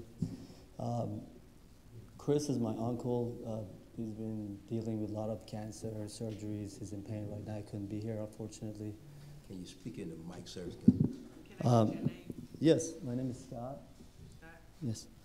Um, and uh, he just wanted me to relay some, some words. Uh, he's uh, owned this property for the past 20 something years. He lived, he's lived in this uh, city for past 25 years, a quarter century. And um, he's been a farmer and pilot um, flying out, out of Atlanta Airport for these years and uh, been making payments on this and another property nearby. And um, since he's sick right now, he needs to uh, retire and um, needs that. He's uh, actually we were. Uh, he's tried everything. He's tried. Uh, he had a lot of sheep and goats and cows there at one time. Tried to make some money with that, and you know pay the taxes and pay the payments. and that didn't work. It didn't bring enough money. And uh, actually, before um, the great people at Liberty came, we were uh, contemplating on either a, uh pig farm or a chicken farm, which uh, my dad has experience in. Um, and um, luckily, I mean, th- through the grace of God, they came, and this thing's coming together now, uh, finally. And um, yeah, just you know, he's been on a lot of medication. He's not, he hasn't been himself the past uh, almost a year now. Um, but um, you know, we are very excited about this. I think it'll uh, uh, create, uh, it'll raise the property value in the area. Uh, it will uh, cause a lot of, uh, you know, good neighbors getting together. There's, a, uh, I love what they're doing with the park. There's a park going to be there, you know, 12 acres. Um, so we're excited about this. Just wanted to relay some, uh, the message from my uncle. Okay. Thank you. Thank you, sir. That concludes the people that are in support of the item. I'm clocking this. Okay, the, uh, I would now call the people that are actually, anyone that wants to speak in opposition. Uh, According to that, uh, you, you can come on up, just come on up, sir. I see you sitting there, and then the lady in the back, I saw you. You can come after him, and you can come, Ms. Galais, and then just orderly, and again, I'm, at this point, I'm clocking at twelve minutes because I have to, re- I have to maintain the codes up. Is it? So I, so I can get thirty minutes, so in this case, okay, thirty minutes. My name is Joe Lowe. I stay on Creekwood, Creekwood Road, Yes, sir. and I'm, I'm really talking, uh, people in Creekwood, uh, subdivision. And, uh, they keep talking about, uh, on that corner there. Right now, as it stands right now, we got trucks coming up Creekwood, down Johns Road, they're not supposed to be coming. I and I look at this thing here now, as it stands right now, if we should call Fairburn Police down there, Fairburn Police, the fire department, the tractor trailer be backed up there on, on, uh, Oakley Industrial, we can't get out. We have to go almost to Palmetto to come to Fairburn, because the traffic is so rough. So if they put these other houses down there, that's no telling how much traffic gonna really gonna be. You know, I mean, we're looking at, uh, if someone gets sick down there, we need an ambulance, they're gonna be able to get to us. You know, I am a dis, I'm a total disabled Vietnam veteran, and as it stands right now, if I should get real sick, if I need a, a ambulance or something, I'm gonna. I mean, as simple as that. Uh, I don't feel like they're gonna get to me in time. So I'm, I'm against all that, you know, all those houses, that's entirely too many houses for them acreage of land. I mean, I, I might be, I might go along with, the, you know, three houses, I mean, one house on three acres of land or three and a half acre land. That might be all right. That will eliminate a lot of stuff. You know, a lot of people, a lot of traffic. But as it stands now, I'm totally against it, and I hope that we can take care of this. Thank you. Can I get your name, sir? My name is Joe Lowe. Joe Lowe, thank you. Next speaker. You you can come on up.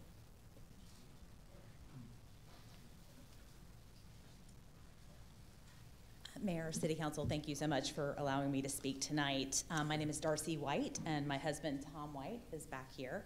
Um, we live at 375 Man Road in Tyrone, so we're here representing uh, your neighbors in different municipalities, and again, appreciate you taking the time to listen to our concerns as well. Um, we want to, I think as a group, well, first, let me say that I'd like to have Stephanie Pugh's remarks, which were eloquent, entered into the record, if you don't mind. Um, and you know, as a community, we aren't against development on this property. We, we truly aren't. Um, you know, I think Mr. Hecht, who used to, who um, would have been here representing us, but for he found another uh, another client that that he thought uh, had a good good argument. Um, we and when we met with the commu- when we met with the builder, um, and the point that Greg kept making about one uh, one house at seven hundred thousand on three acres, that was meant to show that there is a very wide berth between the zoning and what they're proposing. And so our question was, why can't we be somewhere in the middle? We're not against having a development that maybe even has a little more density than an agricultural zoning, but it should be a lot closer to what's actually in the 2040 comprehensive plan. Um, you know, and I have some sympathy for somebody who wants to, to monetize their property, and, and especially in the owner situation. But, you know, we all bought our properties there, uh, knowing that they were agriculturally zoned and knowing that that was supposed to be that way into the future, and that's part of why we bought it. And so, um, you know, as far as a taking, if the committee, of course, uh, approves this, then it's kind of a taking from us too, right? Because our properties are going to be devalued based on this density, the increase in traffic, the increase in potential um, environmental problems with Line Creek, um, and just the you know the the strain on the public resources. And those are those are roads and, and resources aren't that aren't just for Fulton, but also for Fayette County where we live.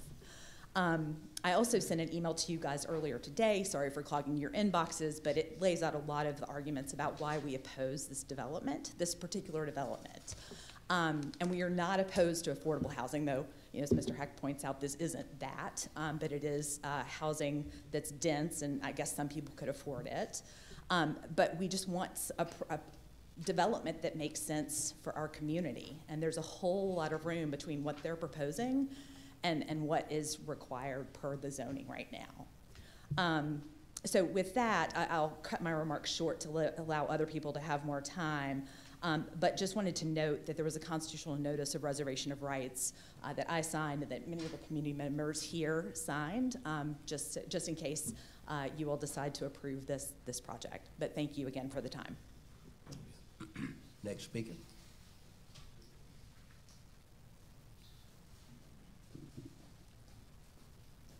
Thank you again for allowing me to speak in opposition of this um, com proposed community. First of all, I want to say our comprehensive plan 2040 was a plan that took into account the entire citizenry of this city, and we spoke well. You heard us.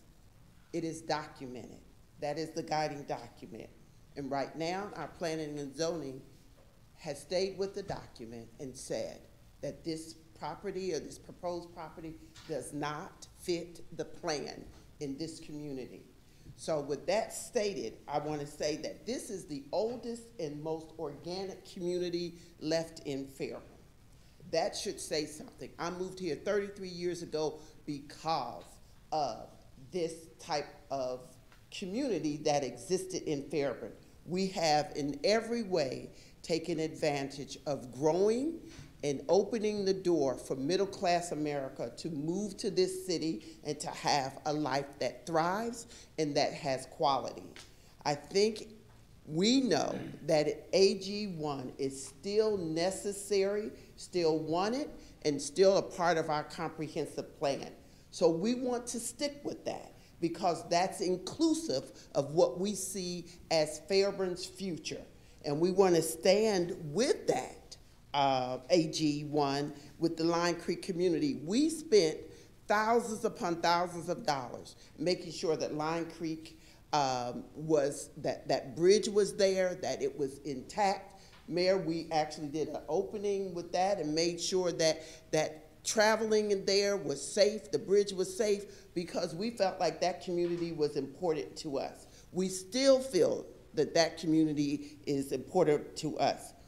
The reduction of quality of life with that many homes would be felt by everybody. And what happens to one side of our town happens to the other side of our town. I'm on Rivertown Road, and I don't want any more of my quality of life diminished, and nor do I want what we've already agreed would be the, the quality of life in the Line Creek community. So I stand here today in support of our community being intact, being in its most organic state. The state of Georgia has put money in its budget to make sure that this area still have agricultural training, education, and a young farmers program. Why? Because it's essential to the economy of Georgia. Farming, Agriculture is a, still a part of our everyday lives, and it's a priority in Georgia. I stand here and say that our state budget supports this type of community and this type of making sure that we preserve and conserve. So my question today is, what can we do outside of the comprehensive plan to put more teeth and so that we are not coming back every month trying to diminish what we have agreed is what we want in this community, and that is to make sure that we have an AG community that is intact and that they don't have to be afraid every month with a new developer coming with a new idea that does not meet our comprehensive plan, that does not meet the quality of life that our community, the, in its most organic families to this area, has not agreed with. I think today we need to close the book on developers who come to say our plan is not the plan they want. They don't live here. They don't pay taxes here. We do. We want our voices heard. Thank you.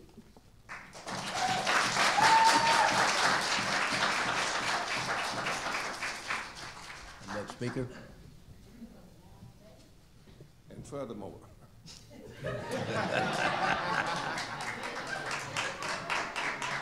John Phillips, I'm Aaron Phillips's granddaddy, if you know Aaron. Um, I live on uh, Snake Road, they call it. And they call it Snake Road for a reason. And I'm seeing up to 500 more cars on Snake Road. I've seen some awful things go around there, and, and it's scary. I, I go up there sometimes and get on the curb. I live on a bad curb. And I go up there and watch them, and you just can't put 500 more cars on that road. You can't do it. I mean, I saw a school bus that's come that close to having a wreck there. Go around a salt truck on the wrong side of the road on the curve. That road's not made for, for what they're proposing. Thank you. Next speaker.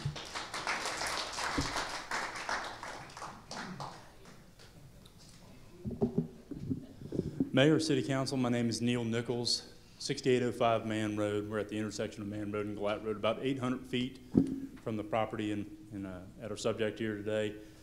Um, I own and operate a cattle farm, and I hope my cows don't stink too much for the community. Um, there's been a lot of really great points made, and I'm you know, not going to go over every single one of them. I'll tell you today, I was done making hay in one of my fields along Gillette Road, and I came out to turn onto Gillette to head back to the house in the barn, and a tractor trailer came over the hill, going way too fast, and I'm in a tractor, and uh, we almost had to call on uh, our wonderful fire department here. Thankfully, we didn't have to. We didn't have to put a strain on our emergency services. but you know that happens pretty commonly with me in a tractor. It certainly happens with folks in cars coming in and out of there, and you know, to the point, the road's two-lane road. It can't handle the additional cars. It certainly can't handle the trucks that are already there, and that's a separate problem that we all know we need to address. but the strain on the fire and emergency services is only going to get greater. We know that the strain on the schools is going to get greater. Utilities, all these different things. You know, th this is something that really jeopardizes what's really a fairly fragile part of the community in, in that sense. I mean, it, it's just not made for this kind of scale. I appreciate the point made about Georgia investing in agricultural areas and in young farmers. I think I'm still a young farmer. Although uh, with, with three kids, one who's a one, one month old, I, I don't really feel so young at the moment. but I'm proud to be a farmer. I'm proud to be farming in Fulton County. We've got 113 acres that we, thank you. 113 acres that have been cared for by folks in this room for many generations before me. I'm really proud to be able to bring my generation, my three kids up in this community, in an agricultural world. And I'm happy to share that with the community too. I love it. I, I'd welcome everybody to come out and see the farm. So this is an important part of the community. And to the point about affordable housing, I certainly understand the need for affordable housing. I really think that a community is made up of a variety of housing types, businesses. It's a patchwork. That's a highly functioning community. We need affordable housing.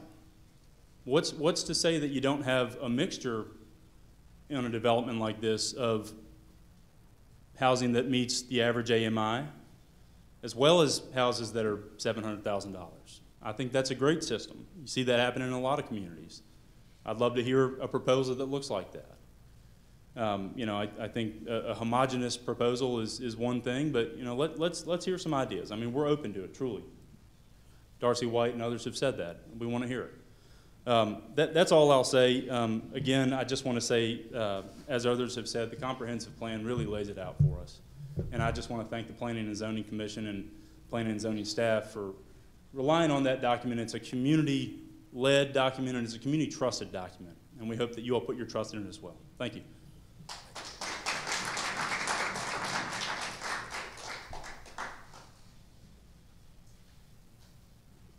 Good evening. Thank you for the opportunity to speak. My name is Elizabeth Corcoran. I live at 9075 Gillette Road. I am the esteemed neighbor of Neil. If you have not met his cows, you probably have met my horses at some point who don't seem to believe that fences apply to them personally at all times. I bought my property here in 2006. I moved specifically to the south side of Atlanta because I enjoyed the pastoral environment here. I grew up in Atlanta, and I can remember when there was no such thing as Alpharetta. And the reason that I come to these meetings pretty much every year that we have one of these proposals come forth is to say that when we let go of that land, we can't get it back. In Georgia, we actually, in December, our state senator came and announced at our farm that there was funding now available for equine assisted psychotherapy, large because of programs like ours, and specifically in Fulton County. There is less and less opportunity for people that live in cities to experience a farm. There's less opportunity for children. When I was growing up, we played outside. Kids now, it is a rarity for them to get out into an environment with animals and flowers and sunshine. I don't have a huge farm like Neil. I only have 17 acres, but I know the power of that 17 acres for the children that come to my farm and heal there. And I know that seeding any of that land, once we've built more homes and shopping centers and offices, that never goes back. That land where you have the opportunity to have space and air and freedom gets further and further away from where most people live. It is not to say that there shouldn't be affordable housing. It is not to say that police officers and teachers and nurses don't deserve wonderful places to live. It is simply that part of what Fairburn has been committed to, and what I love about Fairburn, was the comprehensive plan and the opportunity that the council gave us to come and sit at a table and look at different types of neighborhoods and then sit with maps and say, hey, this would be great over here. Hey, could we save this for green space? And that is what we did as a community. So it isn't anything about what we want for teachers or policemen. It's about a vision that we bought into when we purchased property here. And it is true, I, I have known Chris Eden since 2008. He also owns another large piece of property on Johnson Road that he recently was able to sell as agricultural property. So I don't completely agree with the concept that there's only one way to fulfill what he needs. And I don't agree with the idea that the needs and desires of a full community that already are here have to be juggled against an individual's interest or a builder's interest. I just don't think that that's what the plan was about. Thank you for my time.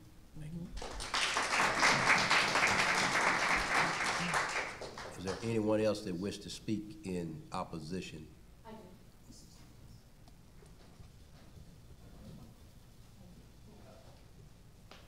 Good evening. Good evening. I'm Chelsea McClinton Jackson, and I live in the city of South Fulton. My church is St. Matthew's, around the corner from the proposed development.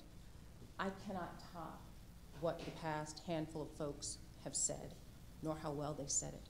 But I have to contribute that these folks who want to build up this area are, have some of the same faces as the folks who are already building over 400 homes over by Wilkerson Mill Park.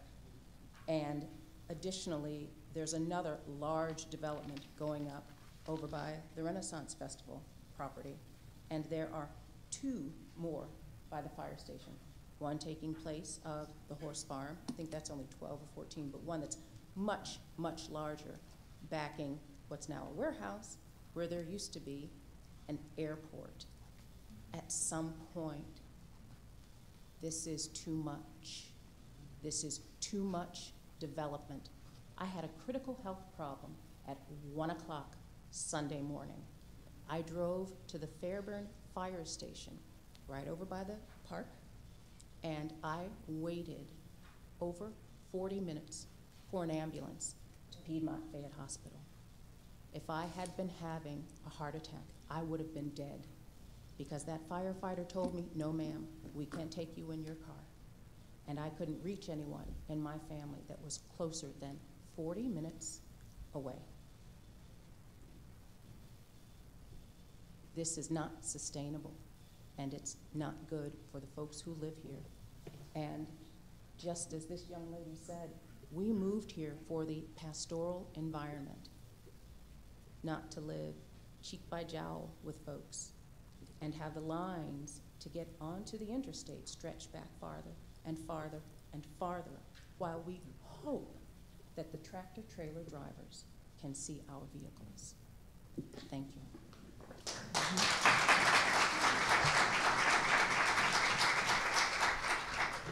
Go ahead, go ahead, sir. Good evening, Mr. Mayor and council members. How you doing, sir? Uh, my name is Mike Berlanti. I live at 9265 Gillette Road. And uh, approximately 20 years ago, we were unincorporated Fulton County. And we were facing the same type of thing, development within the area. And the city of Fairburn came to us with open arms, and they said, we annex you, and we'll protect your way of life. And you have the comprehensive plan, which will guarantee that your way of life will be protected. And I, I don't know, many of you may not have been with the city back then. Uh, some of you were younger. But uh, you know, I just wanted to bring that up, is that there was a promise made. And for that, we paid taxes for 20 some years. And I just think you should take that into consideration. Uh, it's a beautiful area, and it, we'd like it all to maintain that way. Thank you very much.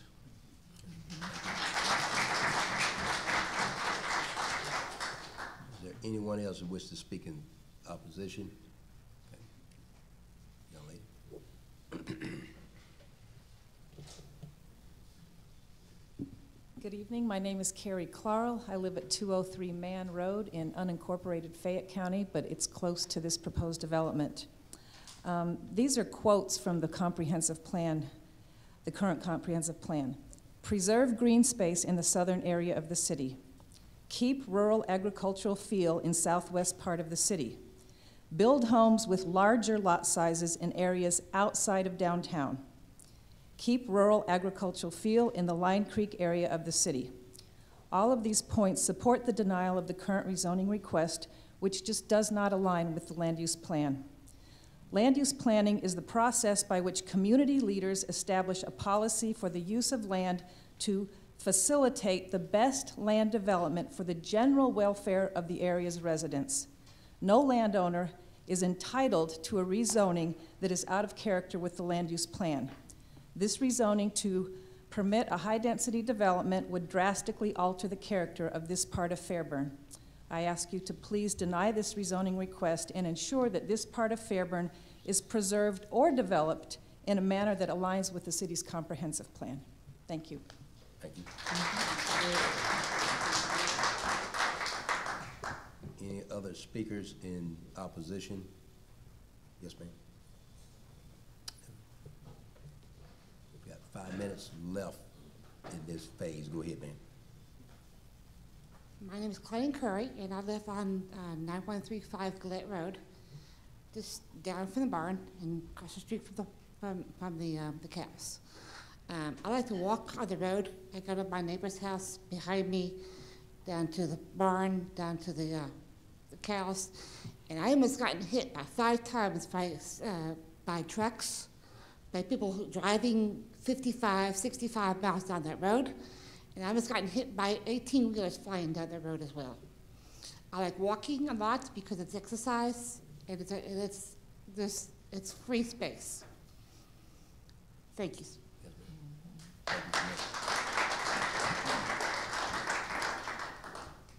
Any other speakers in support? Seeing none. Uh, Mr. Hecht, you have an opportunity for a rebuttal. We're gonna have traffic engineer talk for a minute. I think Ms. Green wants to talk for a minute, and I'm gonna talk for about a minute. We're out of the five minutes, if that's all right. That total rebuttal was five. Go ahead, sir. Good evening, Mr. Mayor, council, and neighbors. Uh, My name is Mark Akampora. I'm the traffic engineer who did the impact study for this project. I just wanted to hit a couple of highlights, a couple of issues that were brought up by some of the neighbors. Um, One, the traffic study that I did was based on actual counts that were done out there.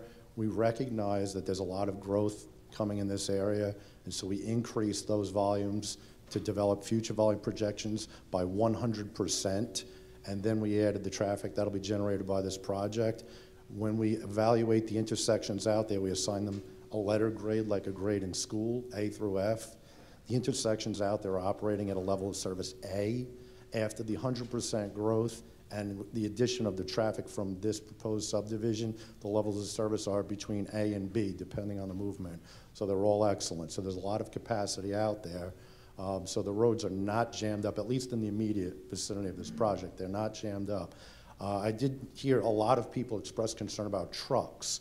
Um, I just wanted to point out that this residential subdivision doesn't generate truck traffic. Um, this is surrounded by a lot of industrial uses. There are trucks being generated out there. Um, perhaps the city, and I'd be happy to be a consultant, could look at ways of diverting trucks, controlling trucks. Um, it may be an enforcement issue, but um, that issue should be separated, I believe, from uh, the traffic issues from this project. So we have a, a a project that's going to have some impact out there, but after everything is developed, it will still be operating at very high levels of service. And I'd be happy to answer any specific detailed questions about traffic that you all might have. Thank you. There's two and a half minutes left. Okay, go ahead, sir. Sorry, this is Scott again. I, I'm a, not a great public speaker, as you can tell. I failed to mention uh, before uh, the great people at Liberty came, uh, we had uh, we were contracting 1,500 heads of hogs to be uh, moved here from another location uh, with a slaughter license, and uh, you know we were going to do organic and sell the manure and stuff like that. Uh, we also, before that, we researched chicken farm, and their profit margin is about the same. It was 50,000 heads of chicken that we were going to purchase and move into location. So just want to let you know that I forgot to say that. Thank you. Gonna say is, the subdivision is much lighter use. We've stopped that use, and I don't think actually that Mr. Eden wants to necessarily farm more. He owns property that he's owned for decades, and he's tired. And he wants to sell it, and it's his property, and I appreciate the comprehensive plan. I've been involved in comprehensive plans, but they don't trump the constitutional right of somebody's property use. They've been challenged many times. People want to say you have to keep 46 acres agricultural for the rest of your life. Those usually lose. It's okay. He has his own property rights. But my point is, we put in a constitutional reservation of rights as well to protect his and other people's rights to live in a property that's affordable, that's for middle income families. Now, let me say this. If the mayor and council believe they're going to deny this, I would ask you instead to table this and allow us to talk further with the community and see if there is something. Uh, you heard Darcy White say maybe there's something in between. Well, maybe there is, and I know Darcy, she's a great lady. And I believe it if she says that. So maybe there's an opportunity for us to talk more. Maybe there's more agreement, as the Reverend was saying, than there is division. Thank you. Okay. That actually completes the total thirty minutes allocated. So in this case, uh, at this point, members of council, I'm just gonna bring the item to the floor for the, for discussion. At this point, you, you have before you for mayor and council to consider the rezoning of forty-six point one acres from AG agriculture to R four single family residential. Is there a motion?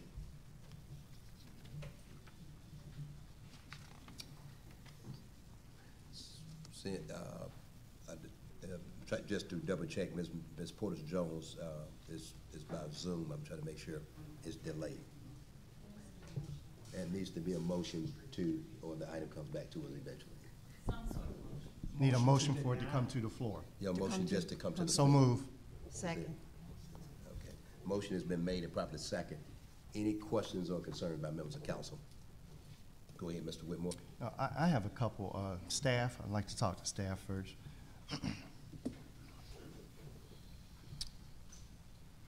I understand you, we already went through the planning and, and zoning side of the house, and, uh, with our lead attorney for planning and zoning, but just in, in reference to the recommendation, uh, the inconsistency with the twenty forty comp plan and future land use map, would you identify some of those inconsistencies? Maybe I missed it. Yes. So the comprehensive plan has this area designated as rural residential. That's a character area that's in the comprehensive plan. Um, the comprehensive plan, the overall um, comprehensive plan, the character area is residential. And in the residential character area, there's three density um, categories: rural residential, rural residential, low residential, and medium density residential.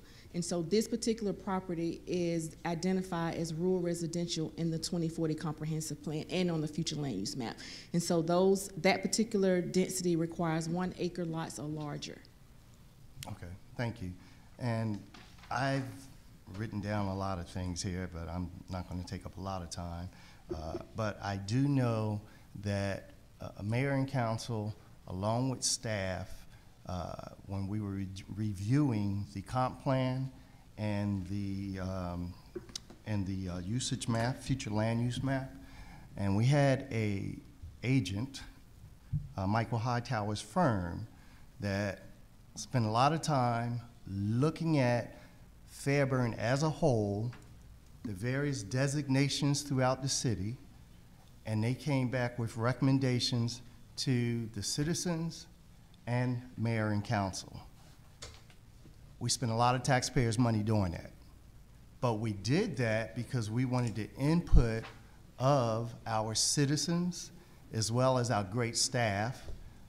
And then mayor and council listened and we approve what we currently have in place. And, and I think that's a, a very, very key note that we need to consider. Also, I, I heard uh, the applicant mention constitutionality, uh, equal protection of the law. Uh, Madam Attorney, we have done everything that we are required to do because we have a comp plan and a future land use map that is approved for 2040. Is that correct? Okay. So in light of that, after all the reviews that we have gone through, uh, and it was tedious for staff, I remember some of that. Uh, but we did have input. We had citizens coming in and adding a lot of value to what was being presented. And I, I think we need to keep light of that. On top of that, knowing a vet that actually has the use of horse therapy because of some of the things that he has gone through while fighting for our country, that's a plus. As well as having children that actually use that type of therapy as well. That stays home with me. the public engagement was there. Uh, we have the 2040 comp plan and the future land use map. You know, we have everything that we need, and really, I didn't sit in on planning and zoning, but I, I would assume it was a very good meeting, and we came out with the results that we had there. So I'm just saying to mayor and council, based on everything that I heard here, uh, and based on the fact of, of the inconsistencies with the 2040 comprehensive plan and future land use map presented by the applicant, not us, because everything that we have is on file, available for review. I myself cannot support it, Mayor. I'm just speaking for me. Next speaker, Ms. uh, Davis. Uh, Yes, thank you, Mayor. Uh, There's um, clarification that I want to make in reference to the representative for the uh, applicant, in reference to the properties um, Ashbury Park and Creekwood Village. He alluded to those properties. Um, I just want to state um, that those properties were annexed. They were in Fulton County, and they were annexed into the city of Fairburn, and they were permitted to stay the way they were. So I just want to bring that up for clarification. Um, the other thing I want to say is that our 2040 comprehensive plan is a plan. It's a plan that we put in, a, uh, I am in um, concert with my colleague. We put a lot of money, a lot of time in that comprehensive plan. You cannot just let any developer that comes into the city that you think, well, maybe this is a good idea or that's a good idea in this area. Has to be a holistic approach, and that's what the 2040 comprehensive plan is about. It, it involved citizens, it involved staff, a representative from council, consultants. There was input, discussion, so it's a holistic approach for the city of Fairburn. And just last council, that 2040 comprehensive plan was a plan that we stuck to and for with our decision. These are not haphazard decisions that we have to make. They're very serious decisions. And so that's what the plan is for, to go by the plan. So I'm, um, I'm also, I'll publicly say I'm, ag- I'm against this um, development for this part of the city of Fairburn. Do I have any other comment by members of council? And again, we're on a time delay. Ms. Porter, uh, Mayor Pro Tem, do you have a comment? There's a time delay. Uh, I'm assuming she does not have a comment. Okay. Okay, at that, at that point, what I was, I had a couple of questions I did want to ask. Uh, as, um, and again, I'm in total agreement, believe it or not, with both comments made. Um, just for clarification purposes, if, if my question is gonna be, uh, as one of the residents mentioned, this, you know, this has been an ongoing, I guess, every year or two years, whatever like that. My question is gonna be, the, the next developer that comes here, my question is, our, our comprehensive plan, we had a conversation, actually, me and the city administrator had a com- uh, conversation, if I'm correct, is that plan updated every five years?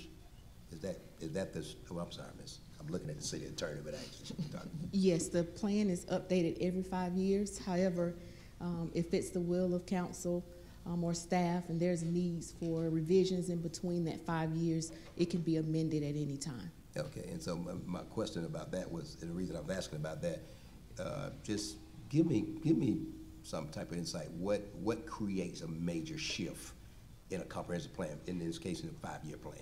I would say if, um, me and Councilmember Davis was talking about this during the break, if you have a particular area of the city where the vision or the goals of the city change, where area may be agriculture or it may be industrial, and the city wants to see that particular area move to um, a better suited use, say from agriculture to commercial or from residential to commercial, then you could amend the comp plan to um, a character area that will suit what the city is trying to pursue as far as development into the future. So a good example, a lot of cities, uh, we're fortunate enough to have a downtown, but a lot of cities who don't have a downtown, they amend their comp plan to a character area that will get them to eventually having a downtown. So that will be like your downtown mixed use types of development. So they will have a character area that speaks to where they want to go in the next 5, 10, 15, 20 years.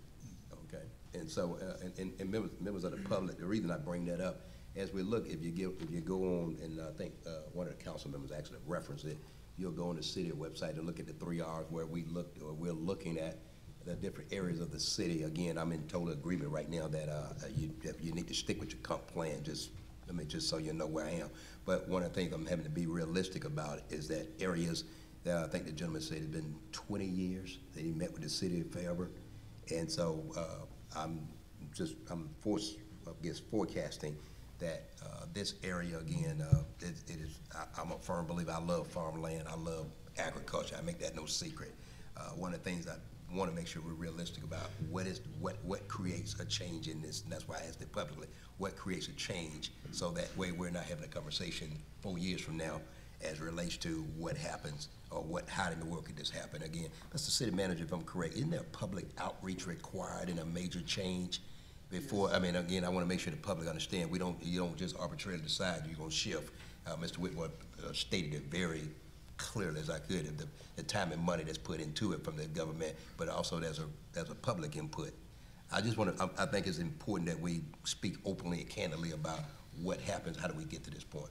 One of the foundational elements of comp plans is public engagement. Mm-hmm. So even in those instances where there may be some occasion or some reason to amend the comp plan to- or to revisit, it's not uncommon that market conditions change much more rapidly than we revisit the comp plan. Um, the world is very different today than it was five years ago. But with that said, one of the elements of comp plans that make them useful is public engagement. So even in the instance where there may be some need to amend the plan, you do so in concert with your residents to make sure that whatever is developed or amended is consistent with the will of the community and all of our key stakeholders. Okay, that, that, that's, that's the point I was trying to make sure I bring up. Uh, And Mayor Avery, might I add to that? Yes, ma'am. Um, if, if there's ever a chance that, um, this body or staff would like to bring something forward to amend the comp plan, as, um, Mr. Phillips has stated, you do have to go through a public hearing process. Correct. So communities are engaged in that, and they have to, they have an opportunity to come and speak in support or in opposition if there was an amendment. Okay, great. Uh, Before I take a vote, I just want to make sure I know we're on time today. Ms., uh, Mayor Pro Tem, did you have a comment? I'm actually trying to talk to her through the phone and through Zoom.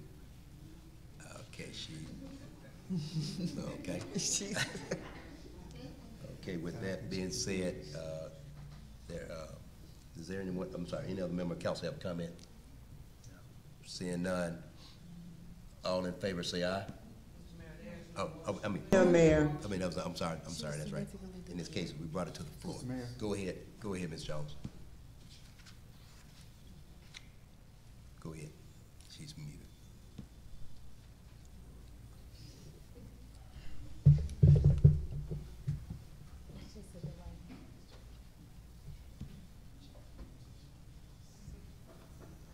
Go ahead. Would it be better for me to dial her on this phone, because the Zoom, yeah. Give me One second.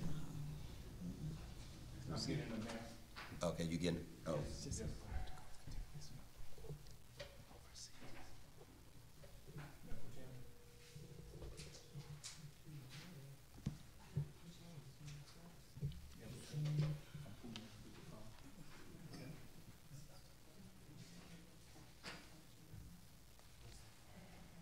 Mayor Pro Tem, it's Tony Phillips.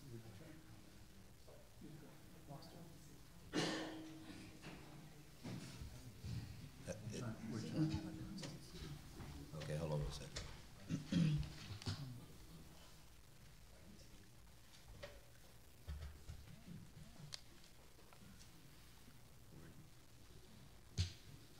I don't see her picking up. Okay.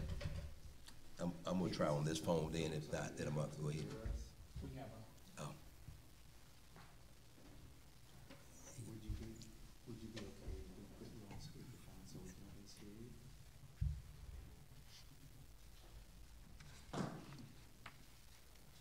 If if you have an opportunity to comment now, if you would like. I'll put you on speakerphone, one moment.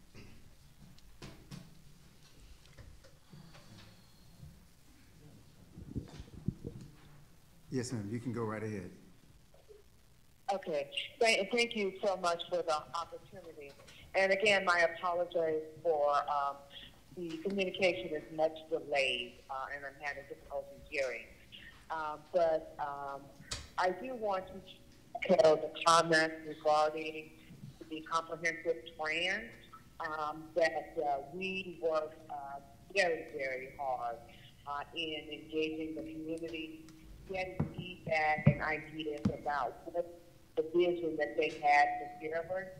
Um, and that uh, comprehensive plan has been tested over and over again with the numerous uh, developments um, that have come before us.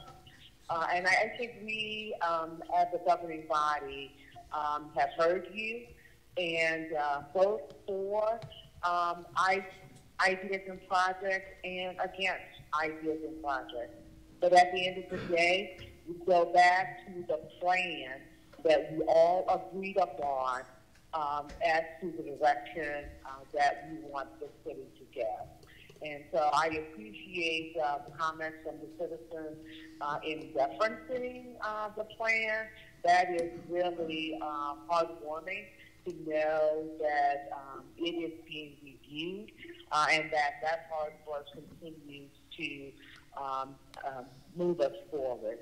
And so I just wanted to comment regarding the comprehensive plan uh, and the fact that we just um, approved the update. Um, I believe it was 2019. Is that correct, Ms. Pete? No, it was actually last year. It was adopted last year, the Yes, five-year update. yes. Um, and again, uh, every five years. Uh, but things are moving rapidly here in Fairburn. And so we, uh, there are a lot of things that we're going to have to take into consideration as we update the new plan. Uh, so thank you, Mayor, for um, the opportunity to comment, comment on this. Uh, and thank you, uh, the residents of Fairburn, for coming out, hearing your thoughts, and uh, continuously being engaged in this process. I personally appreciate that. Okay. Thank you, Mayor. With that being said, is there a motion? Mayor, can I one question Uh, before uh, no, sir. Uh, No, sir. Whether we can withdraw, uh, whether we can withdraw.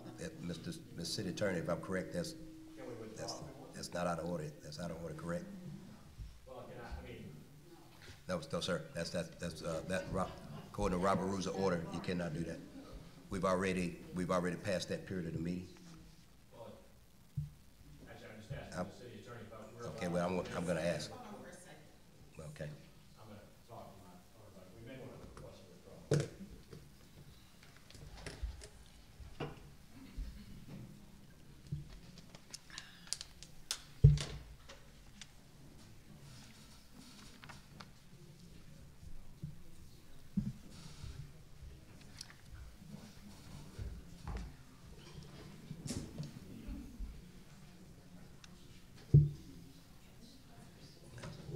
That's a real.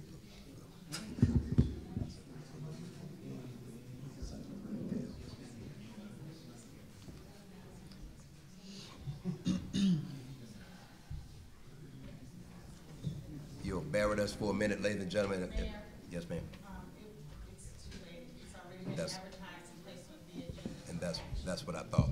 Uh, Miss, um, ladies and gentlemen, unfortunately, there's not a, not an opportunity for that. It's already been on the agenda according to the city attorney's rule. That item has to be voted up or down or whatever. So at this point, I'm sorry, sir, I cannot, I can't allow you to, I cannot allow you to come, continue to come in, sir. I appreciate you. Uh, at this point, is there a motion, uh, by any member of council to approve or disapprove? Uh, yes, Mayor. A motion has been made to disapprove. Is there a second? Second. Mo- Second, motion has been seconded by Ms. uh, Davis. Any questions or comment by council? Seeing none, all in favor, say aye. Aye. All opposed? That motion carries. Item denied. Next item.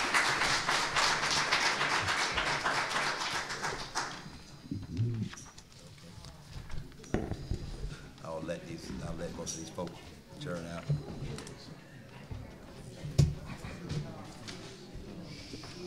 Get you, please, please depart, please depart quietly, ladies and gentlemen. We- Our meeting is still in order.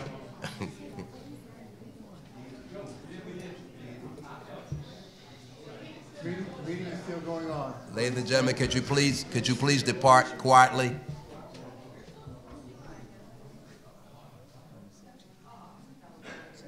I'll get rid of about two-thirds of the room. Mm-hmm. next item is item number two. Okay, go, go ahead and announce the next item. The next item is item number two, rezoning 2022-031 Herman Creek. This is a public hearing. Okay, let me go to the, The applicant is requesting to rezone twenty-six point three five acres from AG agriculture to R four, single-family residential to develop a fifty-seven lot, single-family residential subdivision with frontage on Herndon Road. hold, hold, hold- hold on, hold on one second, ladies. You have- to leave one of those doors open, but that's just Robert's rule. We have to leave one of the doors open. I can't afford any technicalities. So, okay, you can leave it half cracked, okay, gotcha. Uh, I'm sorry, go ahead, Ms. P, continue. The proposed lot size is one-fourth acre, which is ten thousand eight hundred and ninety square feet. The proposed ingress and egress points to the subdivision are on Herndon Road. An amenities package includes a playground and picnic area and three point three eight acres designated for open space. The fairways at Durham Lake subdivision is adjacent to the subject property. By comparison, the lots in the fairways at Durham Lakes are of similar, if not smaller size, between .18 to .25 acre lots.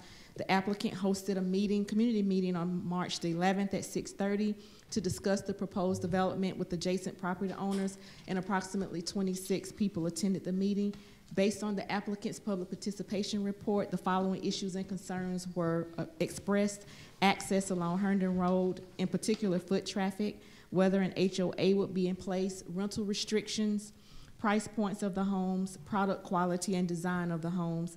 The future land use map has the subject property designated as medium-density residential, and this character area is appropriate for one-fourth or smaller lots. Based on the proposed development's conformity to the 2040 comprehensive plan, staff is recommending approval conditional. Staff also recommend the 17 conditions listed on pages 8 through 10 of the staff report. The Planning and Zoning Commission reviewed the request on May 3rd, and their recommendation is approval conditional. And you have Mr. William Dial here, Mayor, to speak. He's the applicant's representative. Okay, uh, at this point, I'll open the public hearing. I'll start with those that are in support. Uh, you want to go ahead, sir? Good evening, William Deal, law firm Thompson O'Brien. Can you, O'Brien. can you pull the mic Yeah, up and I'm. I'm sorry, Mayor. Uh, William Deal for the law firm Thompson O'Brien. We're located at 2 Sun Court, Peachtree Corners, Georgia. Uh, Mayor and Council, thank you for, for giving us the opportunity to present this project. I represent the applicant. Um, as staff mentioned, we're requesting a change from the zoning designation. This property is currently zoned agricultural. We're looking for an R4 zoning designation that would allow uh, for the development of 57 single-family lots uh, on this property. It's a 26-acre lot property, uh, resulting in a uh, density, a net density of around two units per acre. Uh, The lot size, we are taking advantage of a of a lot of common space that we're going to build out, including some amenities that will be built out for this project. Um, The, ultimately, these, these lots will be one-fourth lots, which as staff mentions is consistent with the comprehensive plan. Uh, This is in the medium-density uh, residential comprehensive plan. And as we heard in the last hearing, that is the highest purely residential uh, compre, or excuse me, character area in the comprehensive plan. Uh, And this is consistent with it. Not only is it consistent with the comprehensive plan, but it's consistent with a recent development uh, that's directly adjacent to our property. That's the Durham Lakes um, development. In fact, many of those, those homes have, have similar square footages. Many of those lots are, are actually slightly smaller. Um, and again, we're building out uh, uh, common areas within this, so there will be a green space element, just as there is with uh, the Durham Lakes community. Obviously, not a golf course, not enough room for that, uh, but certainly uh, amenities, so a playground, picnic facilities.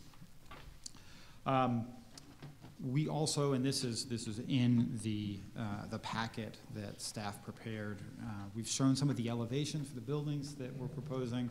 These are high quality buildings going to be using high quality cladding. The elevations show there are architectural standards that are consistent with the higher end of the market. Uh, you'll see the, the stylistic gables, uh, many of the, the changes in, in textures and, and of uh, material usage that you would associate with uh, quality development. My client is, is here tonight. Uh, my client's been involved in a lot of these similar types of projects. These are high, high-end, uh, very well-developed uh, projects. Um, we had, as staff mentioned, one community meeting. We had about 20 people, na- 25 neighbors uh, attend that meeting. It was over Zoom. Um, and they expressed those concerns that, that staff mentioned. So uh, one of those were foot traffic along Herndon Road. Of course, this is in close proximity to a school.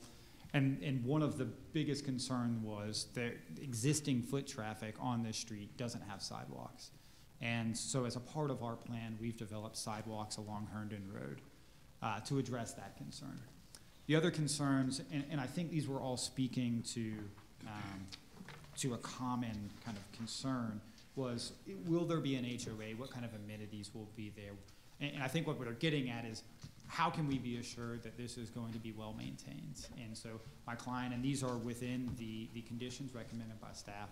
Uh, my client will have an HOA. That HOA will have conditions. We'll make sure that this is properly maintained, uh, both by the homeowners and those common areas will be maintained by the HOA.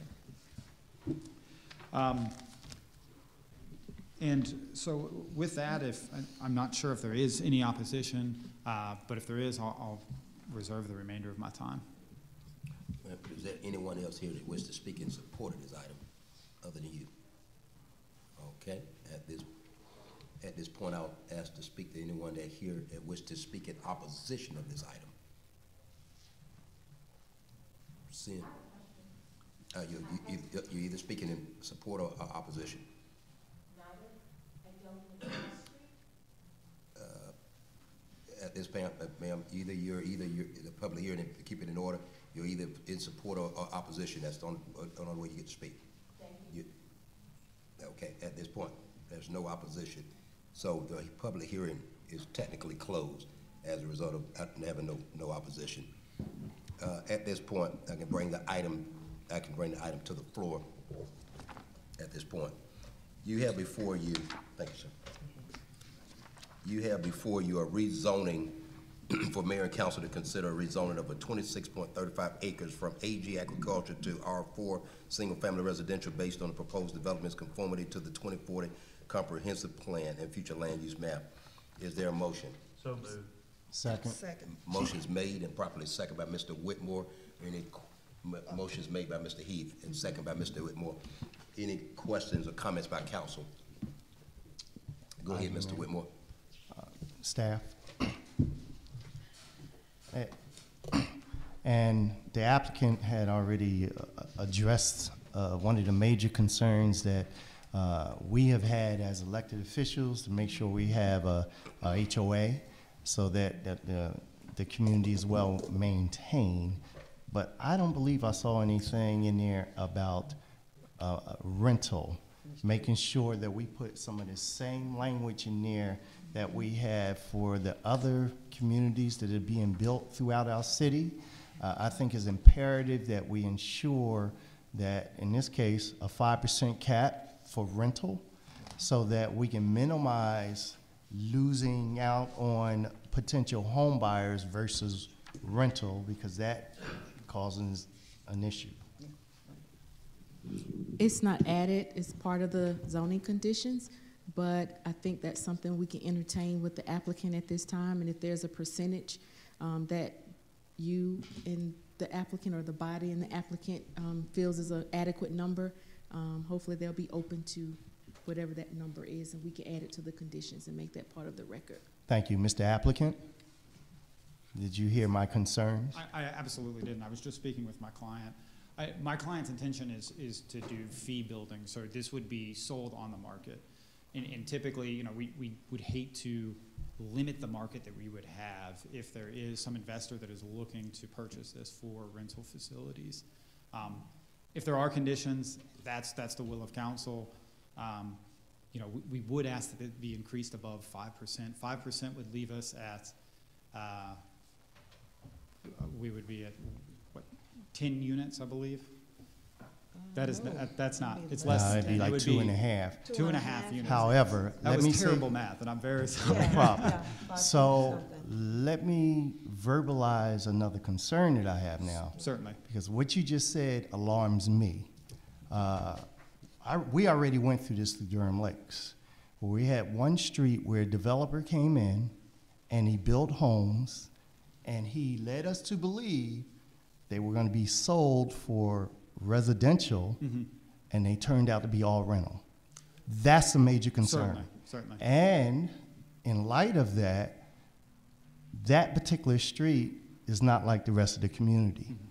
So now I'm even more so concerned, and I want that number a lot higher for rentals. You know, so I am going to now propose that as one of, one of the conditions, we take the uh, uh, rental up to 25 percent.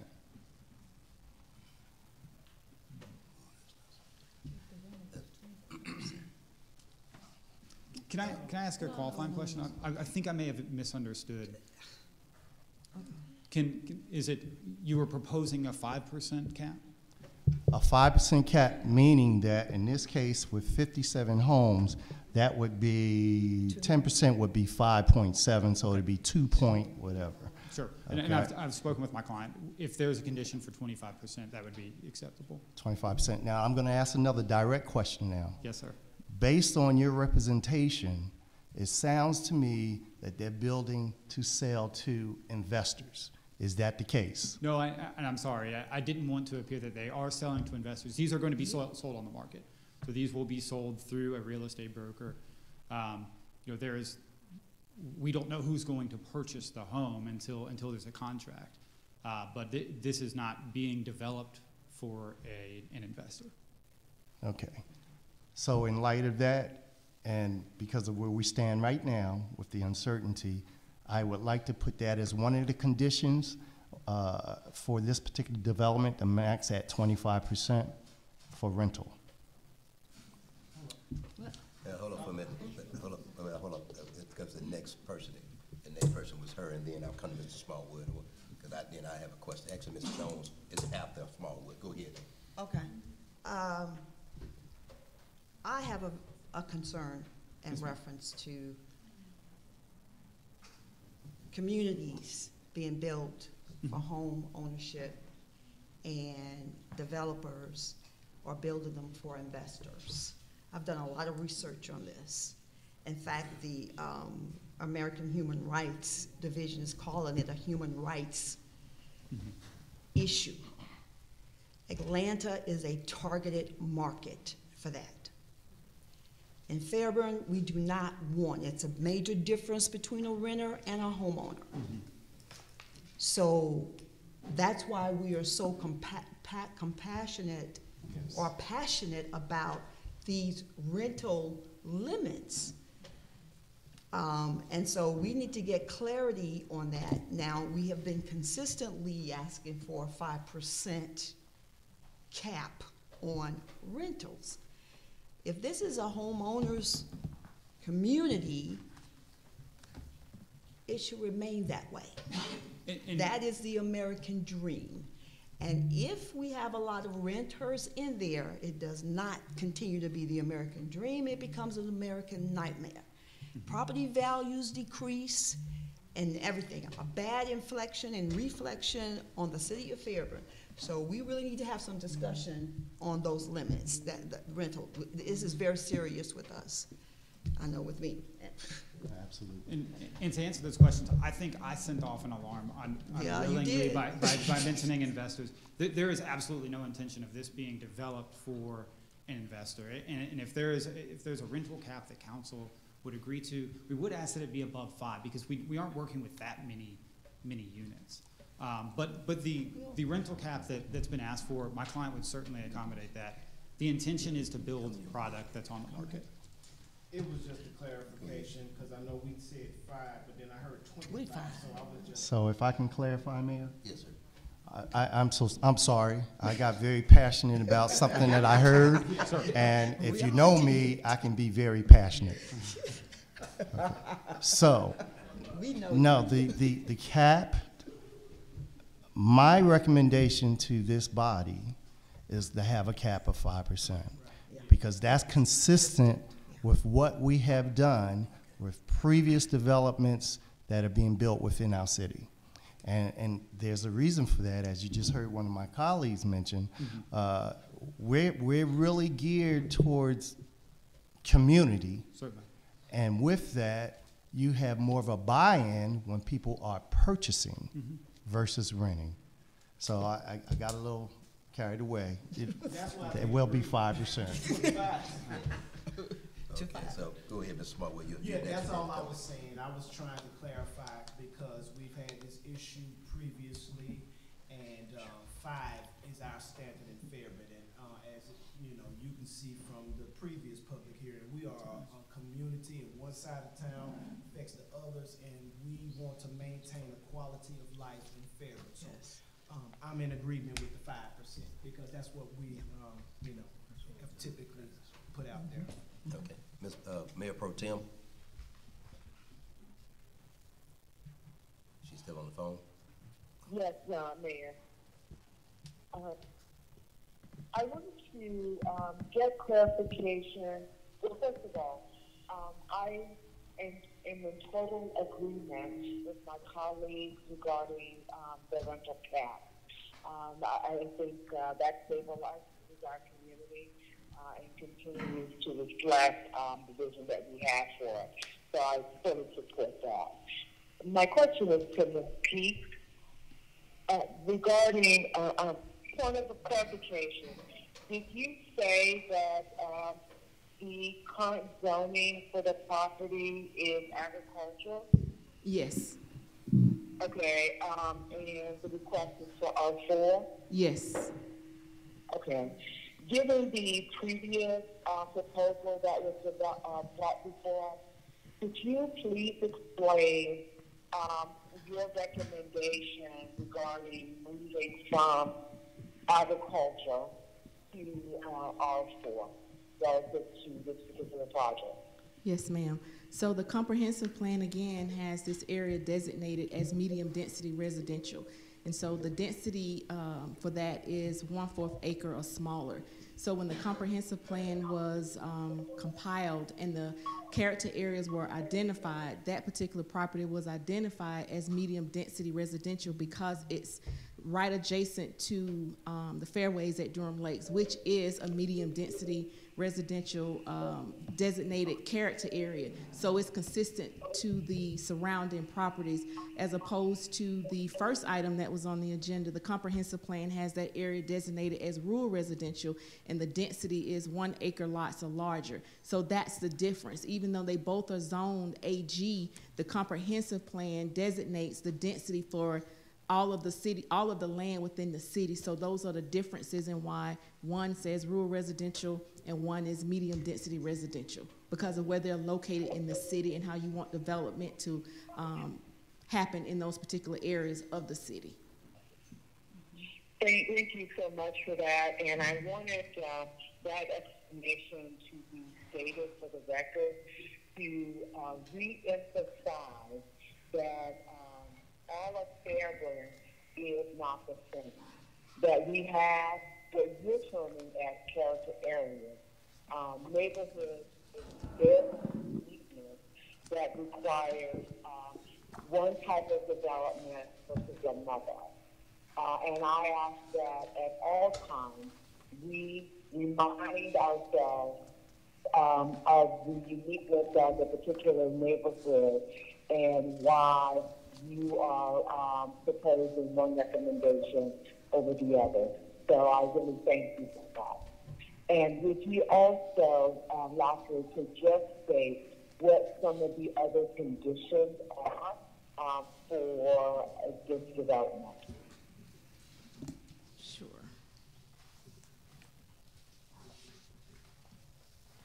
I think she asking me to state the conditions. Okay. Okay. Um, the first one is to restrict the use of the subject property as follows to single-family residential, a maximum of 57 single-family residential lots with a density of 2.6 acres. I'm sorry, 2.16 units per acre, whichever is less. B, to abide by the following. The property shall be developed in conformity with the site plan prepared by Lowe's engineers and attached as Exhibit B. The site plan is conceptual only and must meet or exceed the requirements of the city's ordinances prior to the approval of a land disturbance permit. Any deviation from the site plan is subject to approval by the city's Department of Community Development. Two, property maintenance shall be accomplished through a homeowners association in which membership shall be mandatory. Property maintenance for the lot shall be accomplished by the individual property owners with the exception of common areas to be maintained by a homeowners association. Such association by law shall be subject to approval by the city administrator or designee and shall be recorded with covenants that shall be subject to approval by the city administrator or designee. And if the will of council is to add the five percent, it will be added in this particular um, zoning condition number two. Yes. Um, C to the following site development standards. Development standards for each single-family lot shall be as follows.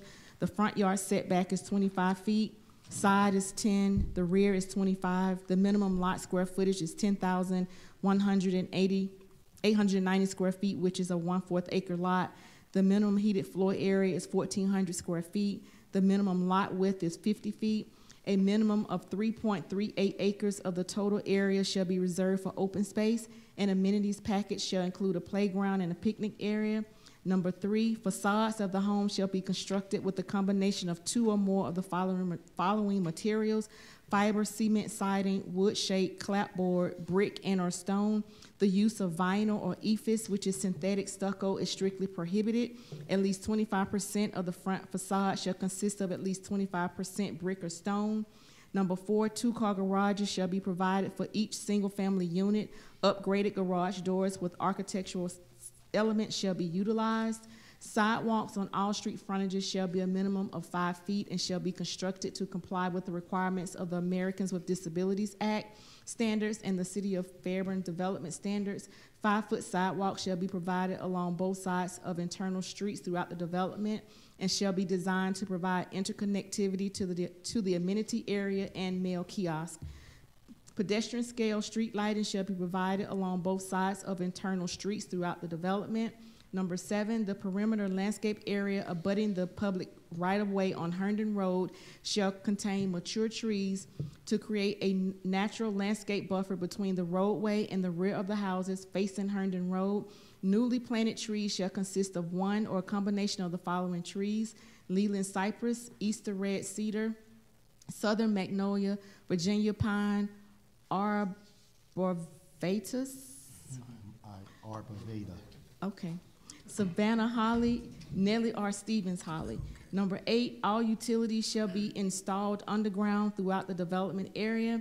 Number nine, acceleration and deceleration lanes shall be provided at the proposed driveway connection unless a traffic study demonstrates that the total traffic on the existing road is less than two thousand vehicles per day, including traffic projected as a result of the proposed development.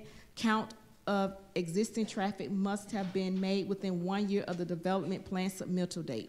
Number ten, turning lanes shall be required to meet provide projected traffic demand and or safe operations as determined by the city engineer and or traffic study. When provided, turning lanes shall meet the following criteria.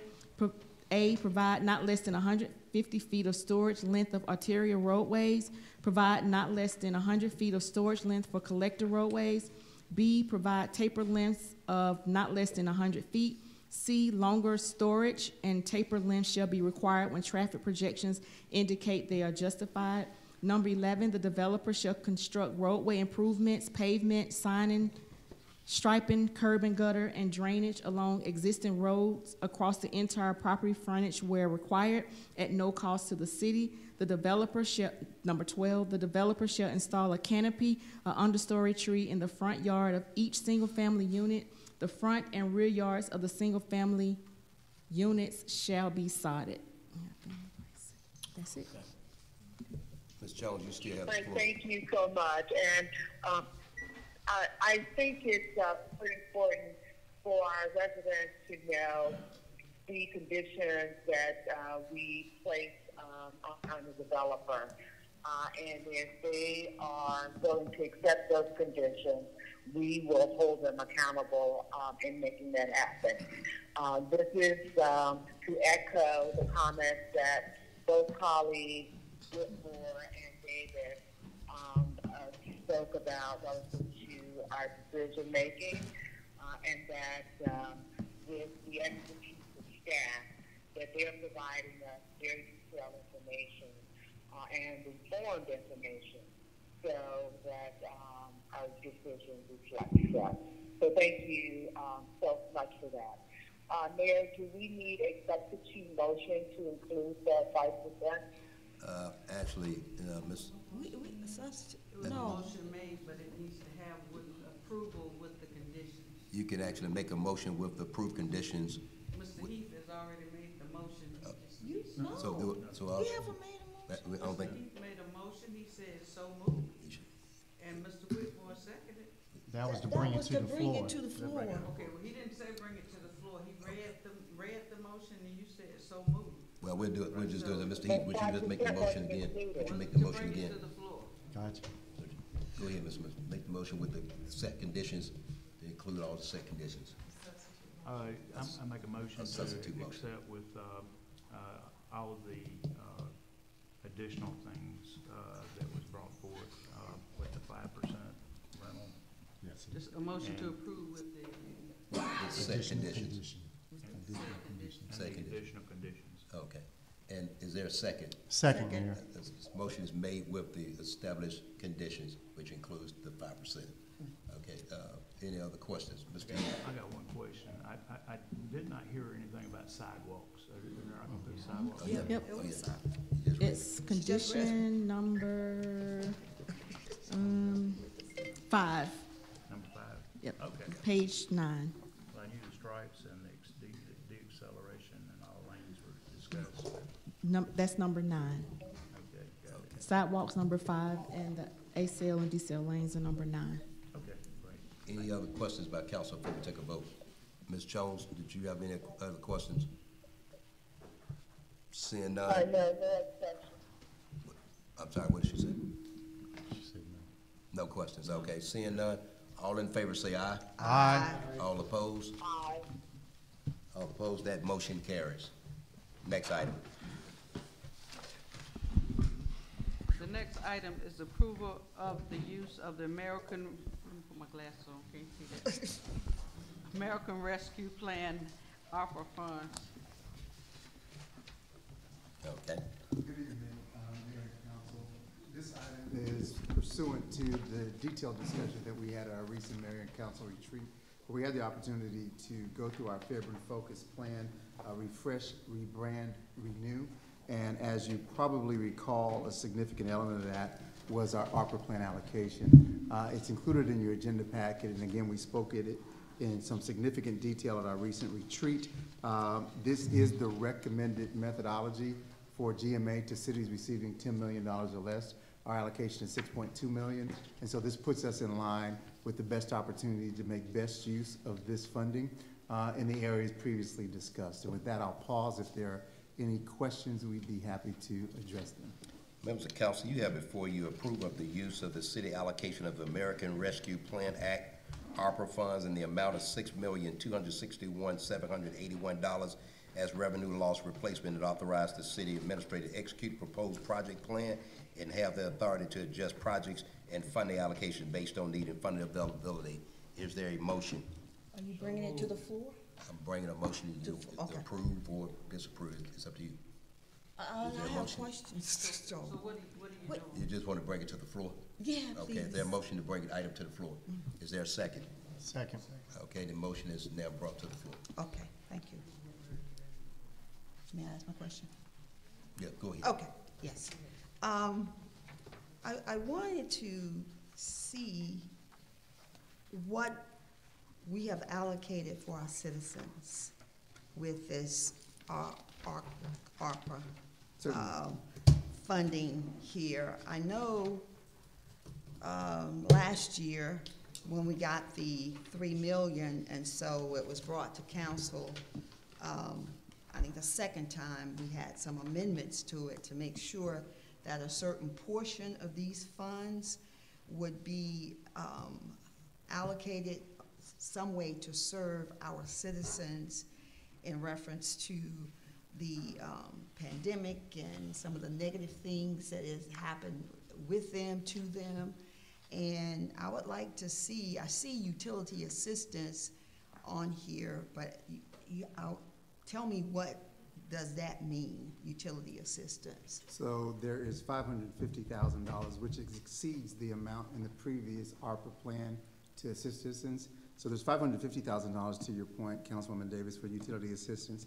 This will provide an opportunity for all residents of Fairburn currently in arrears to be able to bring those bills current. That's a significant opportunity as we have a, uh, due to the pandemic and the impacts of the pandemic, a lot of our residents who are uh, notably quite a bit behind on their utility bills.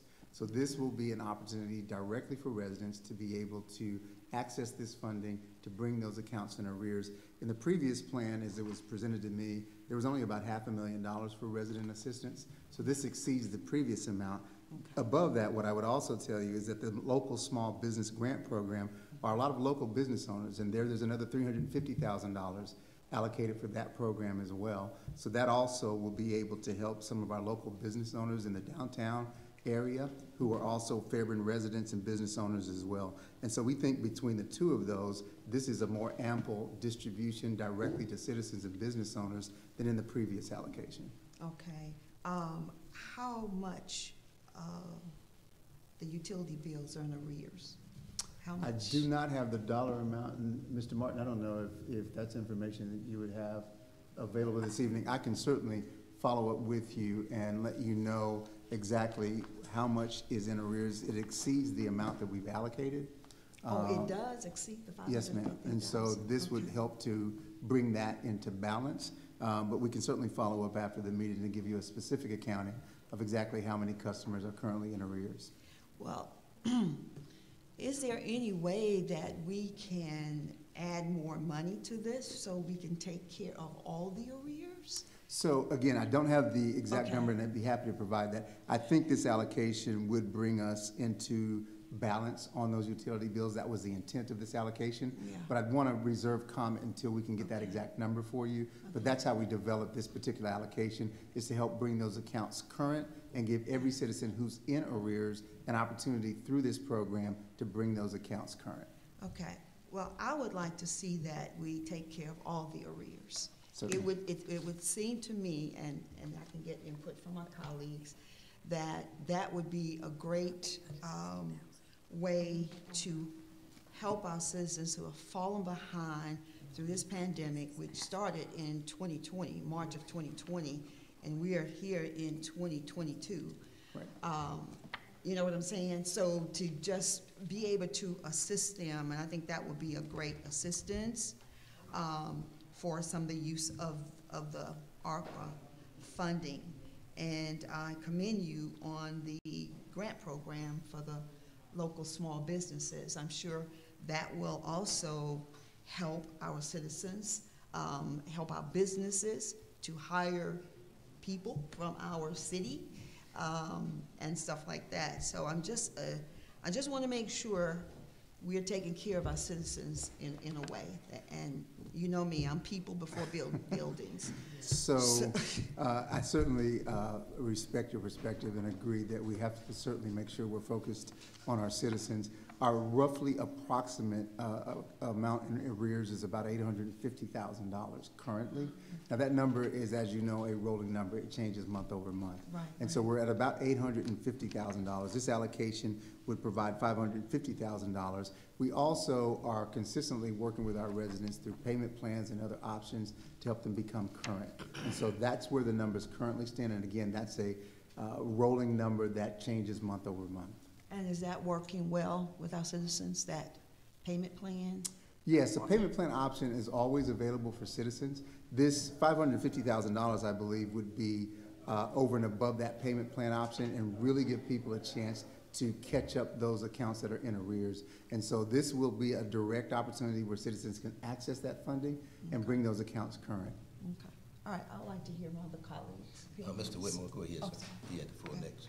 Well, uh, Well, yes, then my colleague already tapped on it, but I just wanted to add uh, to that in the respect that there are some entities within Fulton Gu- County government that also still has the monies available for assistance. So even with the other three hundred thousand plus, maybe we can still reach out or have them reach out uh, because they, there's certain criteria that they have to meet in order to get those funds. And as long as they provide the, the correct paperwork, that's available on top of what the city is doing, and that may help us reach our goal even, even quicker. Great suggestion. We'll certainly follow up on that, Councilman Whitmore.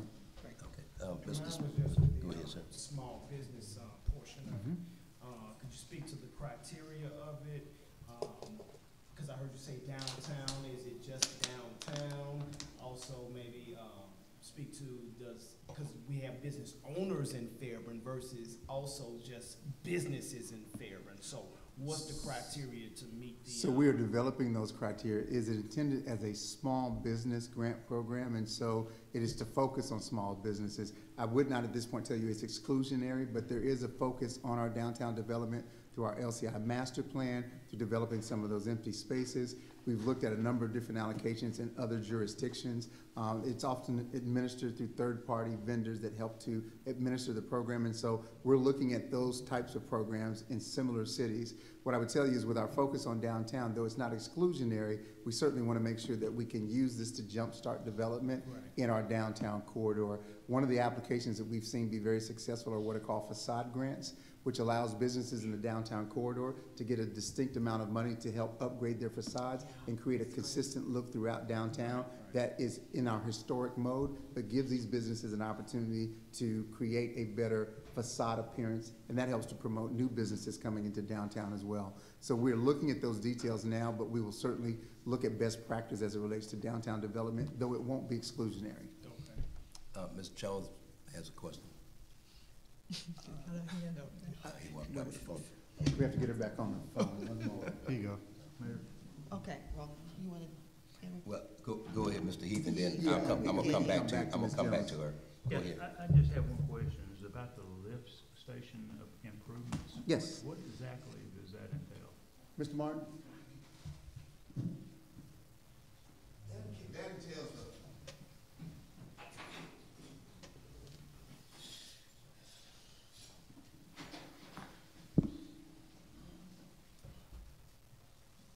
That entails the upgrade. We have, as you know, new subdivisions coming in, so the amount of sewage that we've had before for these lift stations, we've having to upgrade, and we're looking at pipe size, also security. We've had some breaches there, so we're looking at a full, complete makeover of those.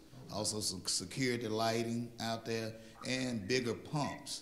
Because as you know, stated before, we've had problems with those pumps as well, being undersized. So That, that's what I was wondering about is, uh, because I do know that in the last, uh, few years, that we've had to replace, uh, the, uh, pumps themselves, it seems like, and everything else. And so I, I I was just wondering, are we ha- still having problems with that? But you say there's an increase in, uh, waste, uh, product and stuff like that, so I can, I can certainly understand that. Thank you. And that is also, some of the consistent feedback we've gotten from citizens at, for the development we've approved is can our current infrastructure handle the nearly thirteen hundred homes that are already in the pipeline? And so this allocation is to make sure that we support that with our current infrastructure. What I would also tell you is that earlier in the year, Congress passed an omnibus infrastructure bill, which will provide some opportunities for us to more deeply fund those types of system improvements. Our sewer system is a discussion we're gonna have very soon, because there's significant, uh, opportunities for growth and improvement in that area. But this is to address the most immediate needs as we bring new developments online. Got it. Okay, thank you, sir. Ms. Jones?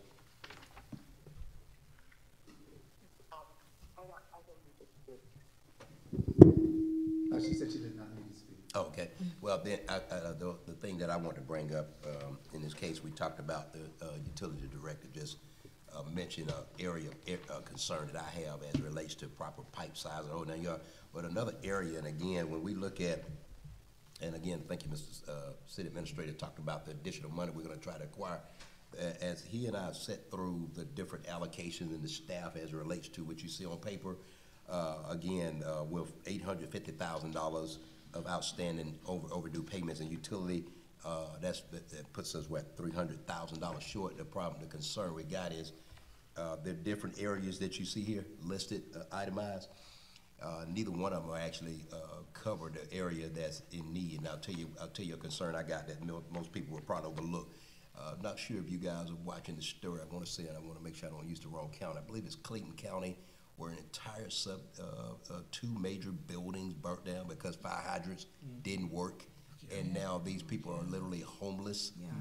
Because, and so, uh, as something, and one of the things that as we, as, as the city manager and the staff and I put a lot of this stuff together, one of the things we were looking at is what I call, pre- what is known as preventive maintenance.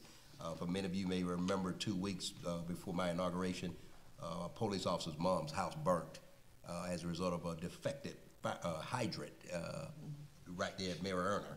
And so, uh, this type of stuff, this type of stuff can't happen, because right now, I assume that that government is gonna have a major lawsuit at some point as a result of, uh, all those people being put out of, a you know, being displaced as a result of, uh, fire, you know, as a result of, in this case, none of the fire hydrants in the whole subdivision work. I'm just, I'm still in total disbelief. One of the other uh, concerns I looked at is when we looked at our, when we talked about the downtown, uh, as, uh, you'll see, I have a meeting with the, with the DDA, uh, very soon to talk about, uh, the guy, uh, talk to owners such as the, the people that you all have actually approved this year. Because one of the things that the people have talked about, they wanna see our downtown, uh, they wanna, they wanna see a jump, they wanna see our downtown get going in the next couple of years. And they, they're, uh, the business owners I've talked to told me that, Mayor, we're realistic with you, we understand. But in two years, we ought to be, able, we ought to be able to see something moving forward. And so that facade, we talked to, uh, our consultant, uh, Chris Pipe, that, uh, helped us find that facade, you just heard him mention it. And so, uh, uh, and as the city manager tells the daily, tells the staff, uh, uh, his favorite word is, we've got to get some wins, we got to get some wins in the column. And so, this, this, uh, again, I say that jokingly, Yeah. but in this case, uh, not to mention, uh, you, you've heard him mention an issue that's gonna come up that we've got to address very soon, sewer capacity. Uh, the discussion we've got to have with another government that we're negotiating with, and it's, unfortunately, it's gonna be very expensive. And so, uh, and so, but we have to address this issue with sewer capacity. And so, some of the things that you see listed here actually is going to contribute to us not being hit so hard when it's all said and done. And so I just thought, I just, members of council, I just wanted to make sure you understood that as the staff, probably don't say publicly, but there's a lot of information and a lot of collaboration. Uh, And let me, let me, let me say this too, and I just think is in order. Uh, one of the things that I'm very happy about right now is that you see, regardless of whether it's third Friday, whether it's the fire department put a new truck in, in action, the collaboration now that goes into the city staff as relates to running across police, being any issue that deals with a request of, uh, public safety, the chief of police, and it's a collaborative effort. And one of the things I'm very proud of, a lot of the information that you see now, i.e. the, the item we passed earlier today with, uh, for, you know, for, uh, tax exemption. Uh, this is coming as a result of a collaborative effort in every department talking to their colleagues. Ladies and gentlemen, that's, that's, that's big. That, that may, that may not seem like a lot. And the reason why it's big, and I, and I won't get off point, is that as a result of the different men and women in, in our management staff, in our leadership staff, one of the things that I wanna give you credit, uh, give the city manager, and I know he's gonna be like, man, I can't believe you're going deep like this. One of the things that I'm very proud of that we've done, the city manager has met with several departments below the management level. We've found out some issues that we've got to address. You're gonna hear about one of them later tonight. That we've got to address that, uh, in this case, is gonna help bring our city and make a whole. So I say all that again, like I said, the list we're looking at, I'm hoping we can find that extra money, uh, for utility because every one of these areas right here have to be addressed, uh, very soon. So again, I'm sorry for going off the deep end. Uh, Mr. Whitmore, you had another question. Uh, uh, Yes, Mayor. Actually, the question would be toward, to our fire chief, but certainly coming through your office, sir. I just remember last year, or when we were looking at the downtown area, and we did have some fire hydrants that needed to be, the piping needed to be changed to lar- larger diameter pipes. Was that done with all this? Actually, it goes back to the big fire we had.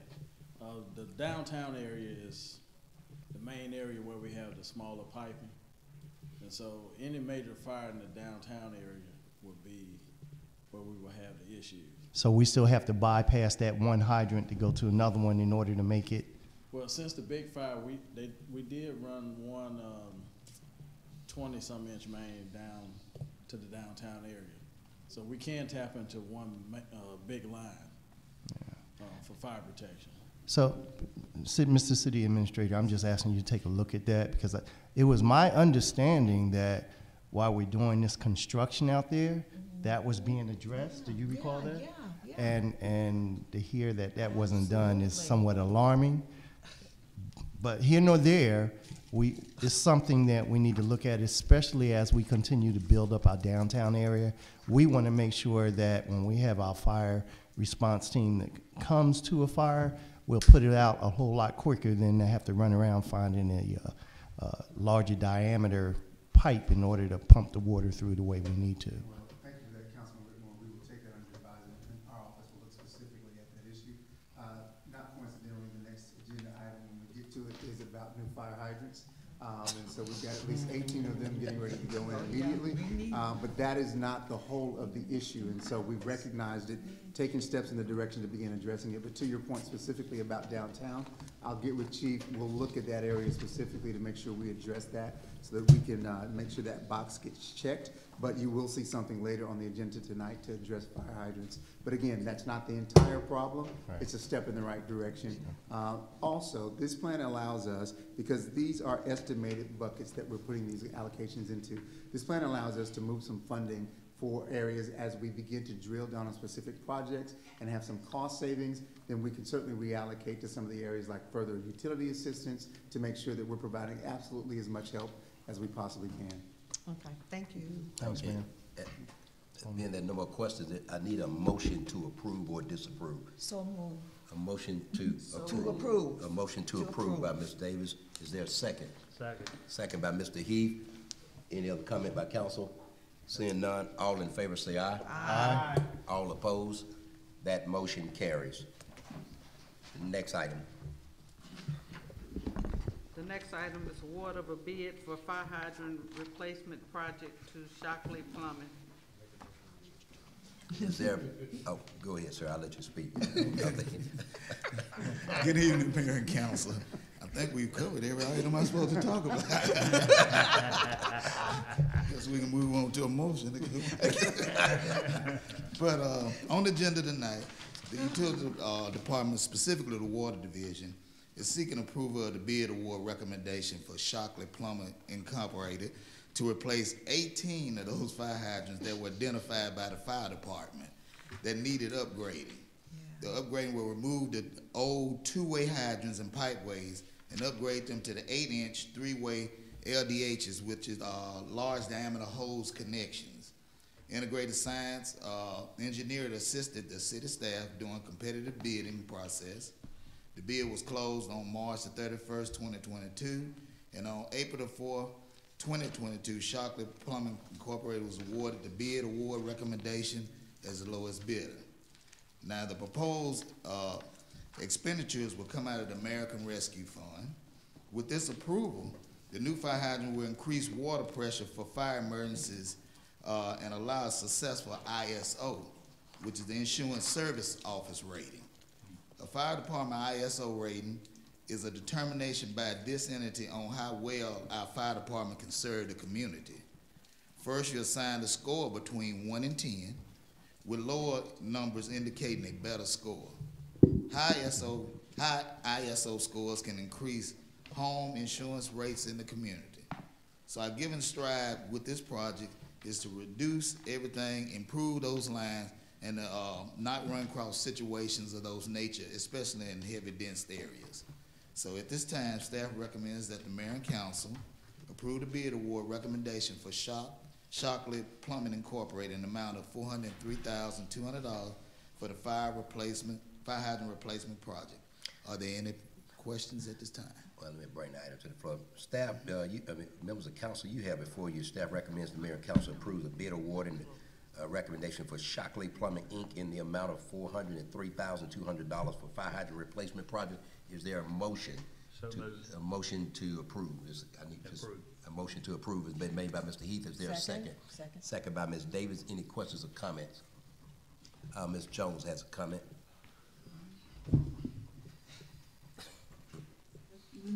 Oh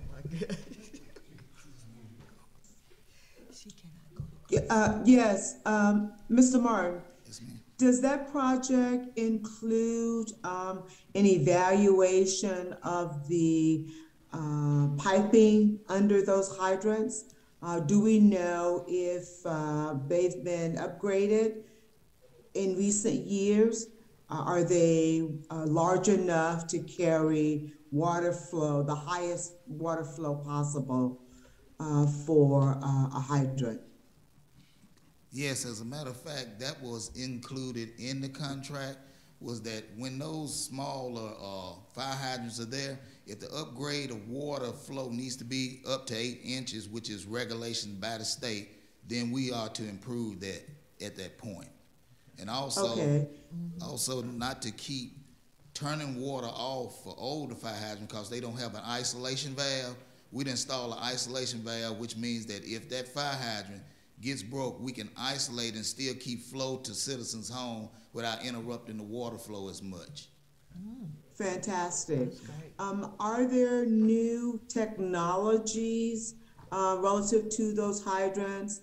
Um, like, um, an automatic shut-off valve, I don't know how new that is, um, technologically, but, um, you know, cause sometimes, uh, we see water flowing, um, unlimited down the street, uh, because a fire hydrant has been knocked over or some issue. The new valves you're proposing, I mean, the new hydrants you're proposing, uh, they will not affect water flow to residents, but it does affect, um, affect excess water, um, usage. And so is there, uh, are there any technological advances to assist with that? Yes, there is. These are what you will be considered as we install the breakaway fire hydrants, which means that they automatically, the minute they are struck, they'll break away from the uh, foundation through the bolts, but won't uh, undermine the thrust uh, factors at the bottom, where it's uh, thrust in and held into place. So that won't be any problem. So it'll break off at the top. Plus, most of the fire hydrants been lowered in the ground. Today's technology raises them up above, so that when a vehicle or they're being struck, they immediately break off, and then the uh, stub, as you would call it, is still stuck in the ground, so it's in a shut-off position.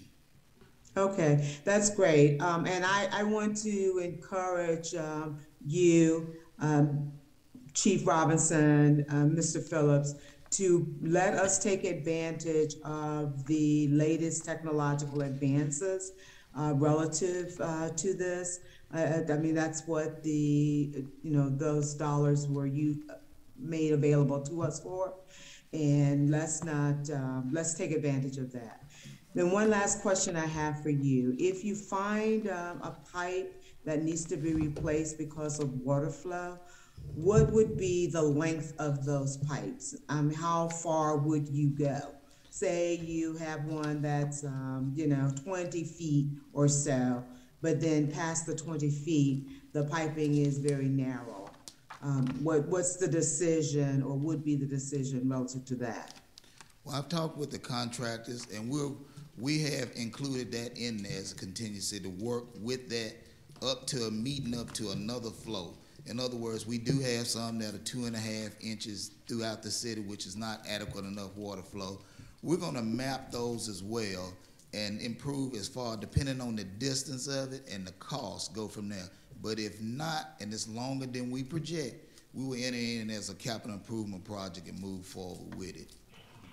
Okay, that, that is fantastic.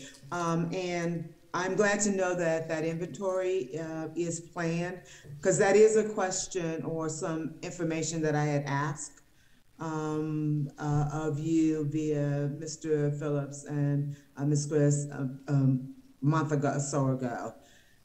Uh, we, we really do need to know what our piping inventory, uh, is, uh, and plan to, uh, replace those as, of course, dollars are allowed, but most definitely to maximize those dollars uh, from the federal government uh, to eliminate as many of those as possible. So, so thank you for bringing that forward, and thanks for the information. What I would add, Mayor Pro is pursuant to the conversation you just referenced, we're working with Integrated Science, one of our partners, as we work with our infrastructure to assess and camera all of our entire system so that we can identify exactly where we have those restricted piping areas and begin to plan through the omnibus infrastructure bill I mentioned earlier to apply for the funding to be able to address that on a systemic level. And so the first step is working with integrated science to completely evaluate the entire system so we can identify exactly where we need to make those improvements because our understanding at this point is it is systemic.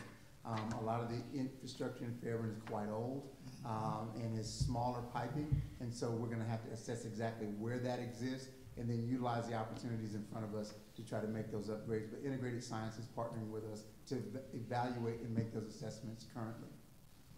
And if, Uh, uh, that, that, that's fantastic. Uh, and I'm, I'm asking for that information because there are additional dollars available, um, directly from, uh, certain departments of the federal government, um, EPA, uh, and sub-departments under them that references, um, um, infrastructure. And so I'd like, uh, our city to take advantage of those dollars, uh, as well. So the sooner we can identify that, have that inventory, and the more data that we can collect, uh, that puts us in a better position to go after some of those funds as well. And the last piece I would add to that is our GIS system, which is another key component in identifying these infrastructure needs, has to move forward. We've got some growth areas in our GIS system as well. So we're also working on that component of this simultaneously. And so you make an excellent point, Mayor Pro Tem. We're focused on that and trying to figure out how we fully assess those needs so that those opportunities you mentioned through other agencies and that omnibus infrastructure bill, we need to target specifically where we need to make those improvements. Okay, thank you so much. Okay, any other comment, Mr. Whitmore? One one question, Mayor. Uh, you mentioned GIS. Mhm. Is that our MIS? excuse me, We have that mapping system that we actually started some time back to identify some of these things. Is it MIS, GIS, or? It was, it was just GIS, and what it did was in the preliminary state of it was that it identified some, but after we looked over it, it started identifying things that were wrong, things that had been upgraded and hadn't kept up, so we need a old new, a complete overview of each one. Okay. Now, the future, the future way that we're using in the mayor's vision of technology is to go to the SCADA system and eventually do that as we're doing it. That technology you mentioned about Pro Tem Jones is that you put sensors on the fire hydrant, and any loss of pressure, we're able to gauge it on a map on the screen and can immediately respond to those. So that is the future. Thank you, Mayor. Okay.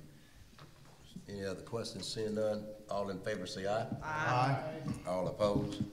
That motion carries. Thank you. Next item. The next item is to establish human resources specialist position in the human resources department. Good evening. Yes, ma'am, how you doing? Mayor, Mayor Pro Tem, all members of um, council, thank you all so much um, for allowing me the opportunity tonight. I stand before you tonight with the item requesting your approval to establish a human resources specialist position within the Department of Human Resources. Um, we certainly believe that having a very healthy and a well group of employees, uh, meaning that we have an engaged group of employees. And currently, right now, we don't have a dedicated personnel um, dedicated to the essential functions of benefits and wellness. Um, our department right now is transitioning as we are streamlining technology, our benefits initiatives, employee engagement. And so this position will definitely be an integral part in making sure that we're meeting those needs. Uh, mem- mem- hold on one second, let's bring to the floor. Oh, that's right. Members of council, members of council, you have before you, uh, mayor and council, to establish a human resource specialist position for, uh, current fiscal year twenty twenty-two budget year. Is there a motion to approve? So moved. A motion is to approve, is, uh, by Ms. Davis, is there a second? Second. Second by Mr. Smallwood. Any questions or comments? I have a question. Ms. Davis, go ahead. Yeah, um, this is a new position? Yes, ma'am. Okay, so how many staff do we have in HR now? I've- Currently- I've lost touch with, is April still there? Sure. Currently, we have myself. Um, I have internally kind of reclassified as it relates to just the classification of my two staff. We have one staff member, Crystal Starr, who's our human resources generalist. Her position is more focused on employee engagement, recruitment, employee relations, those um, essential functions of HR.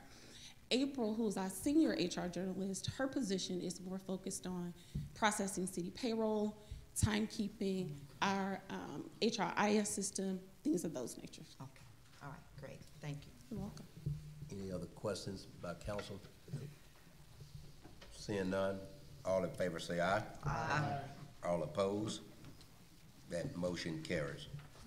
Uh, next item. The next item is, uh, hmm, low-income home energy assistance program agreement between the city of Fairburn and the Georgia Department of Human Services. Go ahead, sir.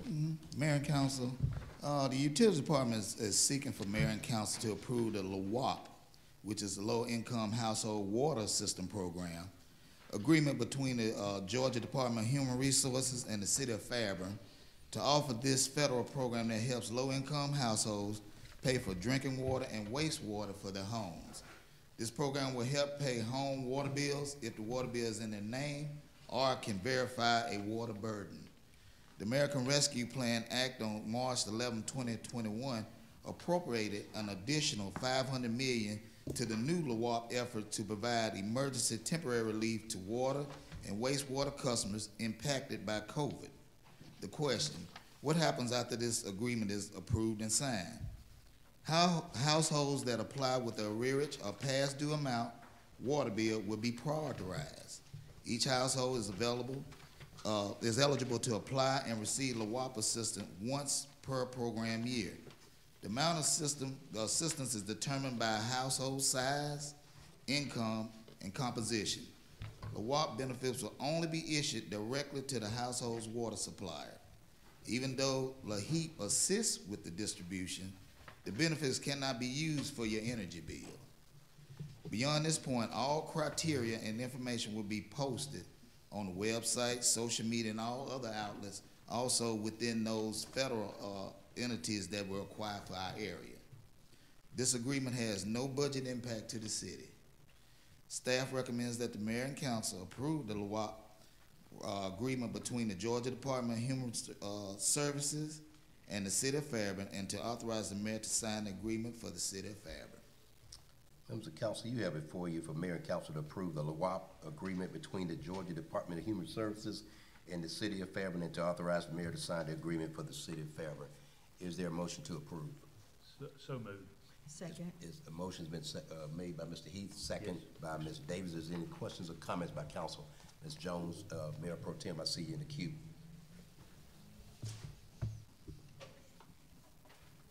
Yes, uh, thank you, Mayor. Um, the question, um, for you, Mr. Martin, is how long, uh, is that, uh, program, will that program be in existence?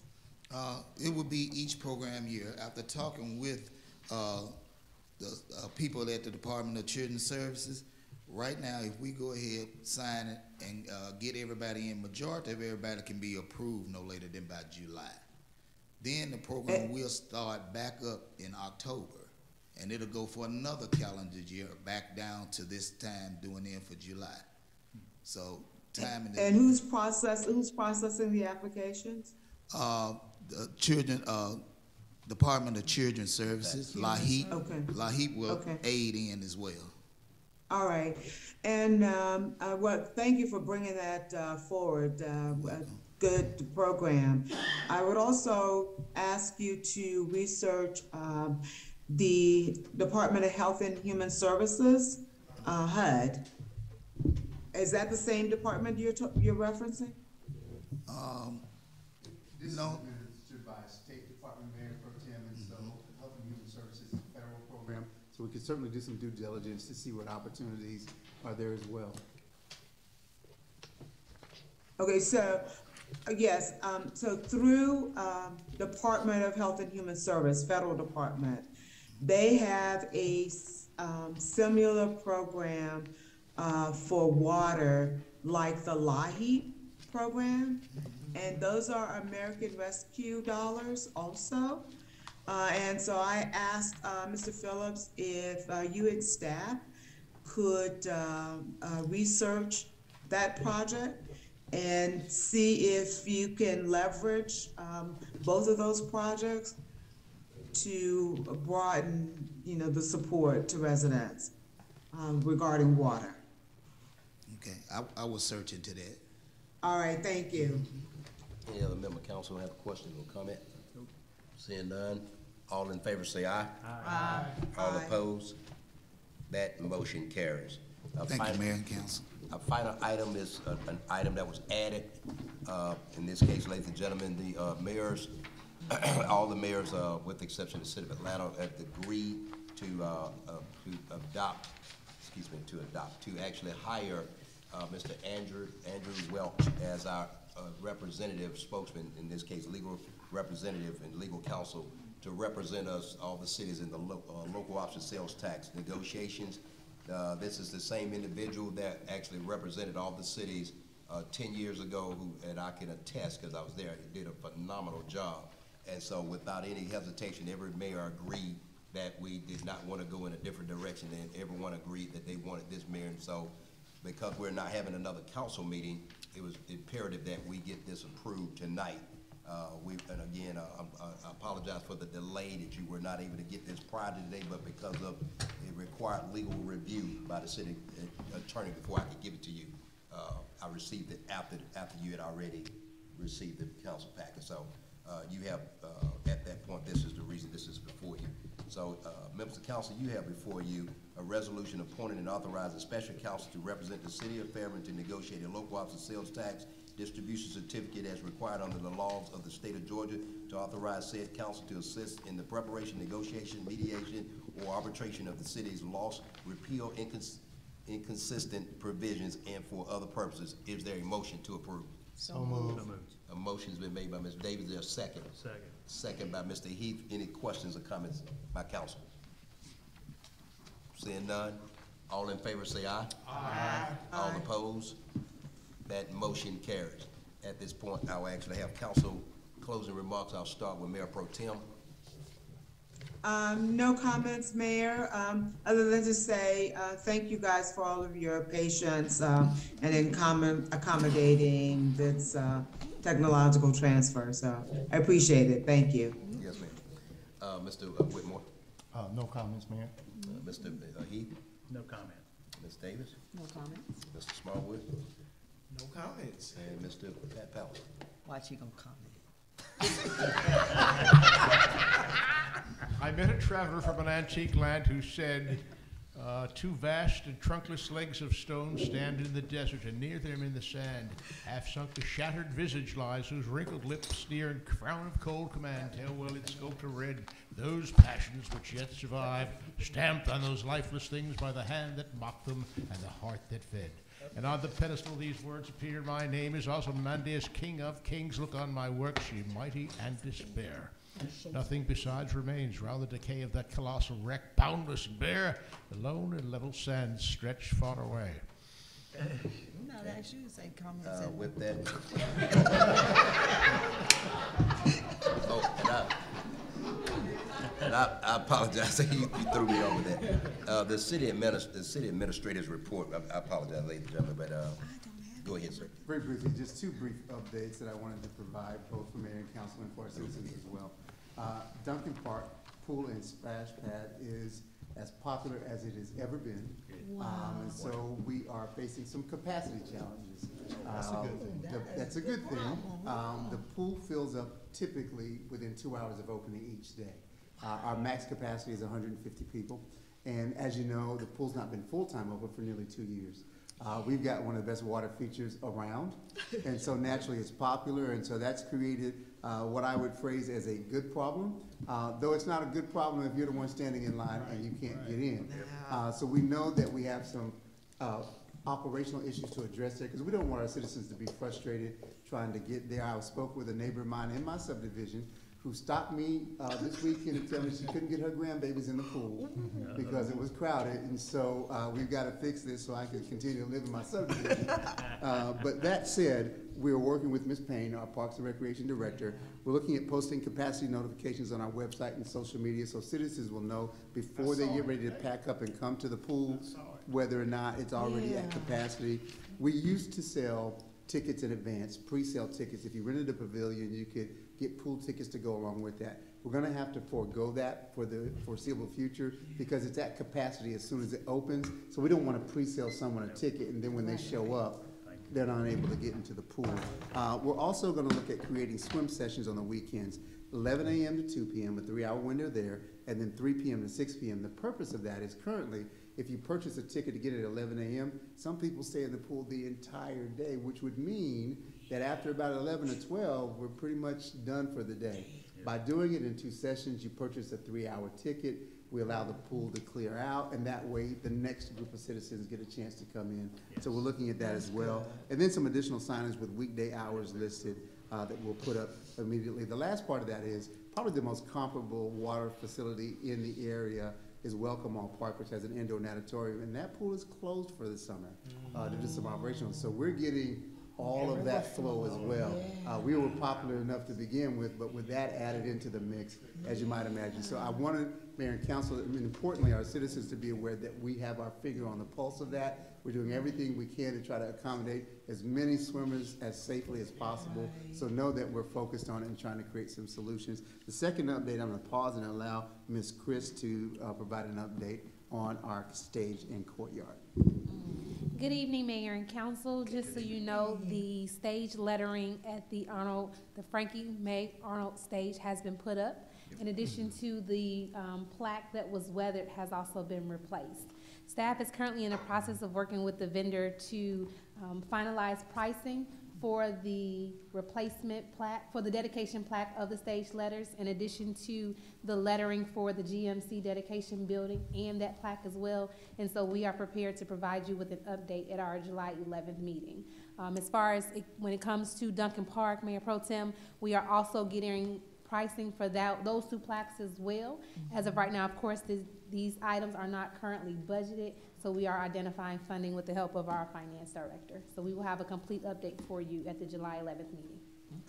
Great, great. And that concludes our updates. Thank you, Mr. Mayor. Okay, and my final comments, I just want to make sure we, uh, remember this Friday, uh, the fire department has a push. Uh, want to make sure council, uh, you got, a- you should have gotten an email. Uh, that's gonna be, a that's a very traditional event that we would now want to implement.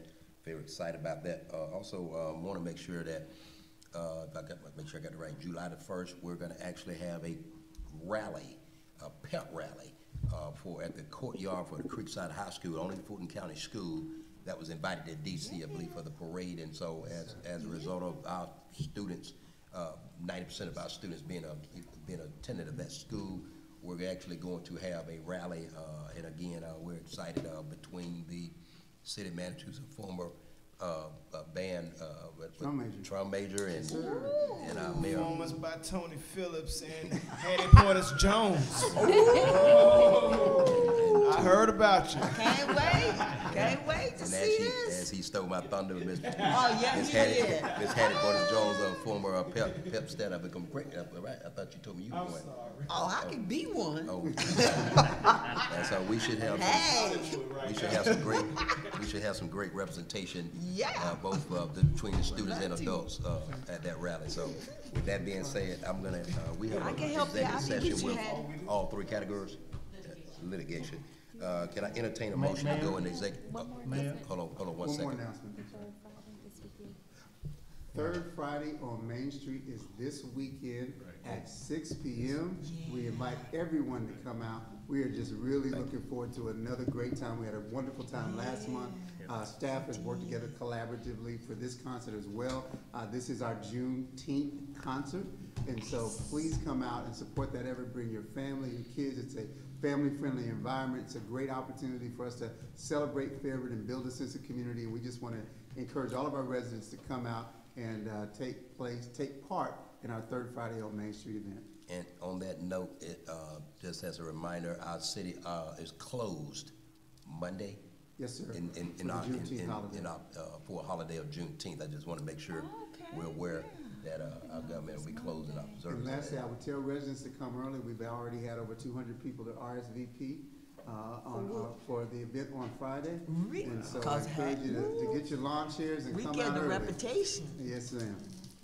Yeah, so, Ma- Ma'am, can I just say one? I think you, Mr. Whitmore too. Yeah. No, actually, I passed it off. That's what I was gonna oh. talk about. So I passed it And off. one last update, we're a busy city. On Saturday, the eighteenth, at the GMC parking lot, there will be a yard Yard sale. sale. Yeah, And so that's we've got a number of participants already for our yard sale. For those of you who are yard sale aficionados, we encourage you to come out. There'll be some great deals on some unique items, and that'll take place on Saturday at the GMC parking lot.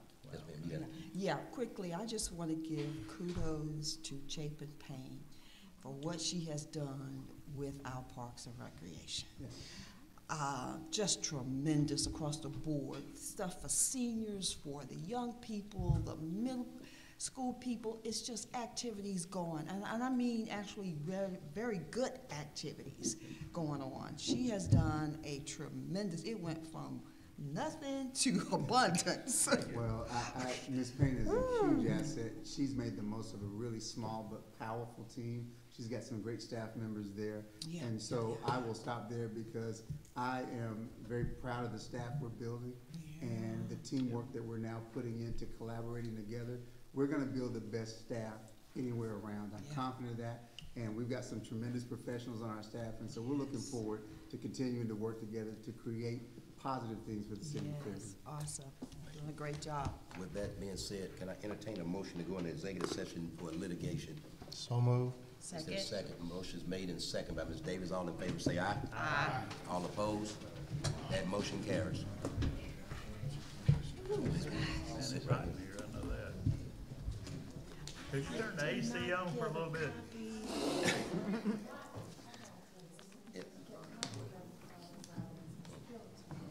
Oh, okay.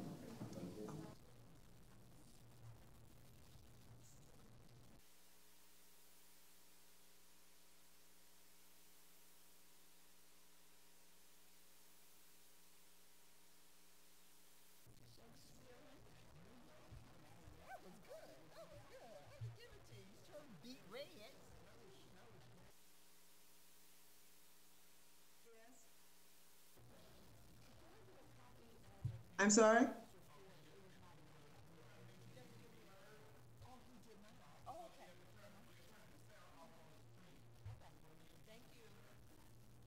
For what?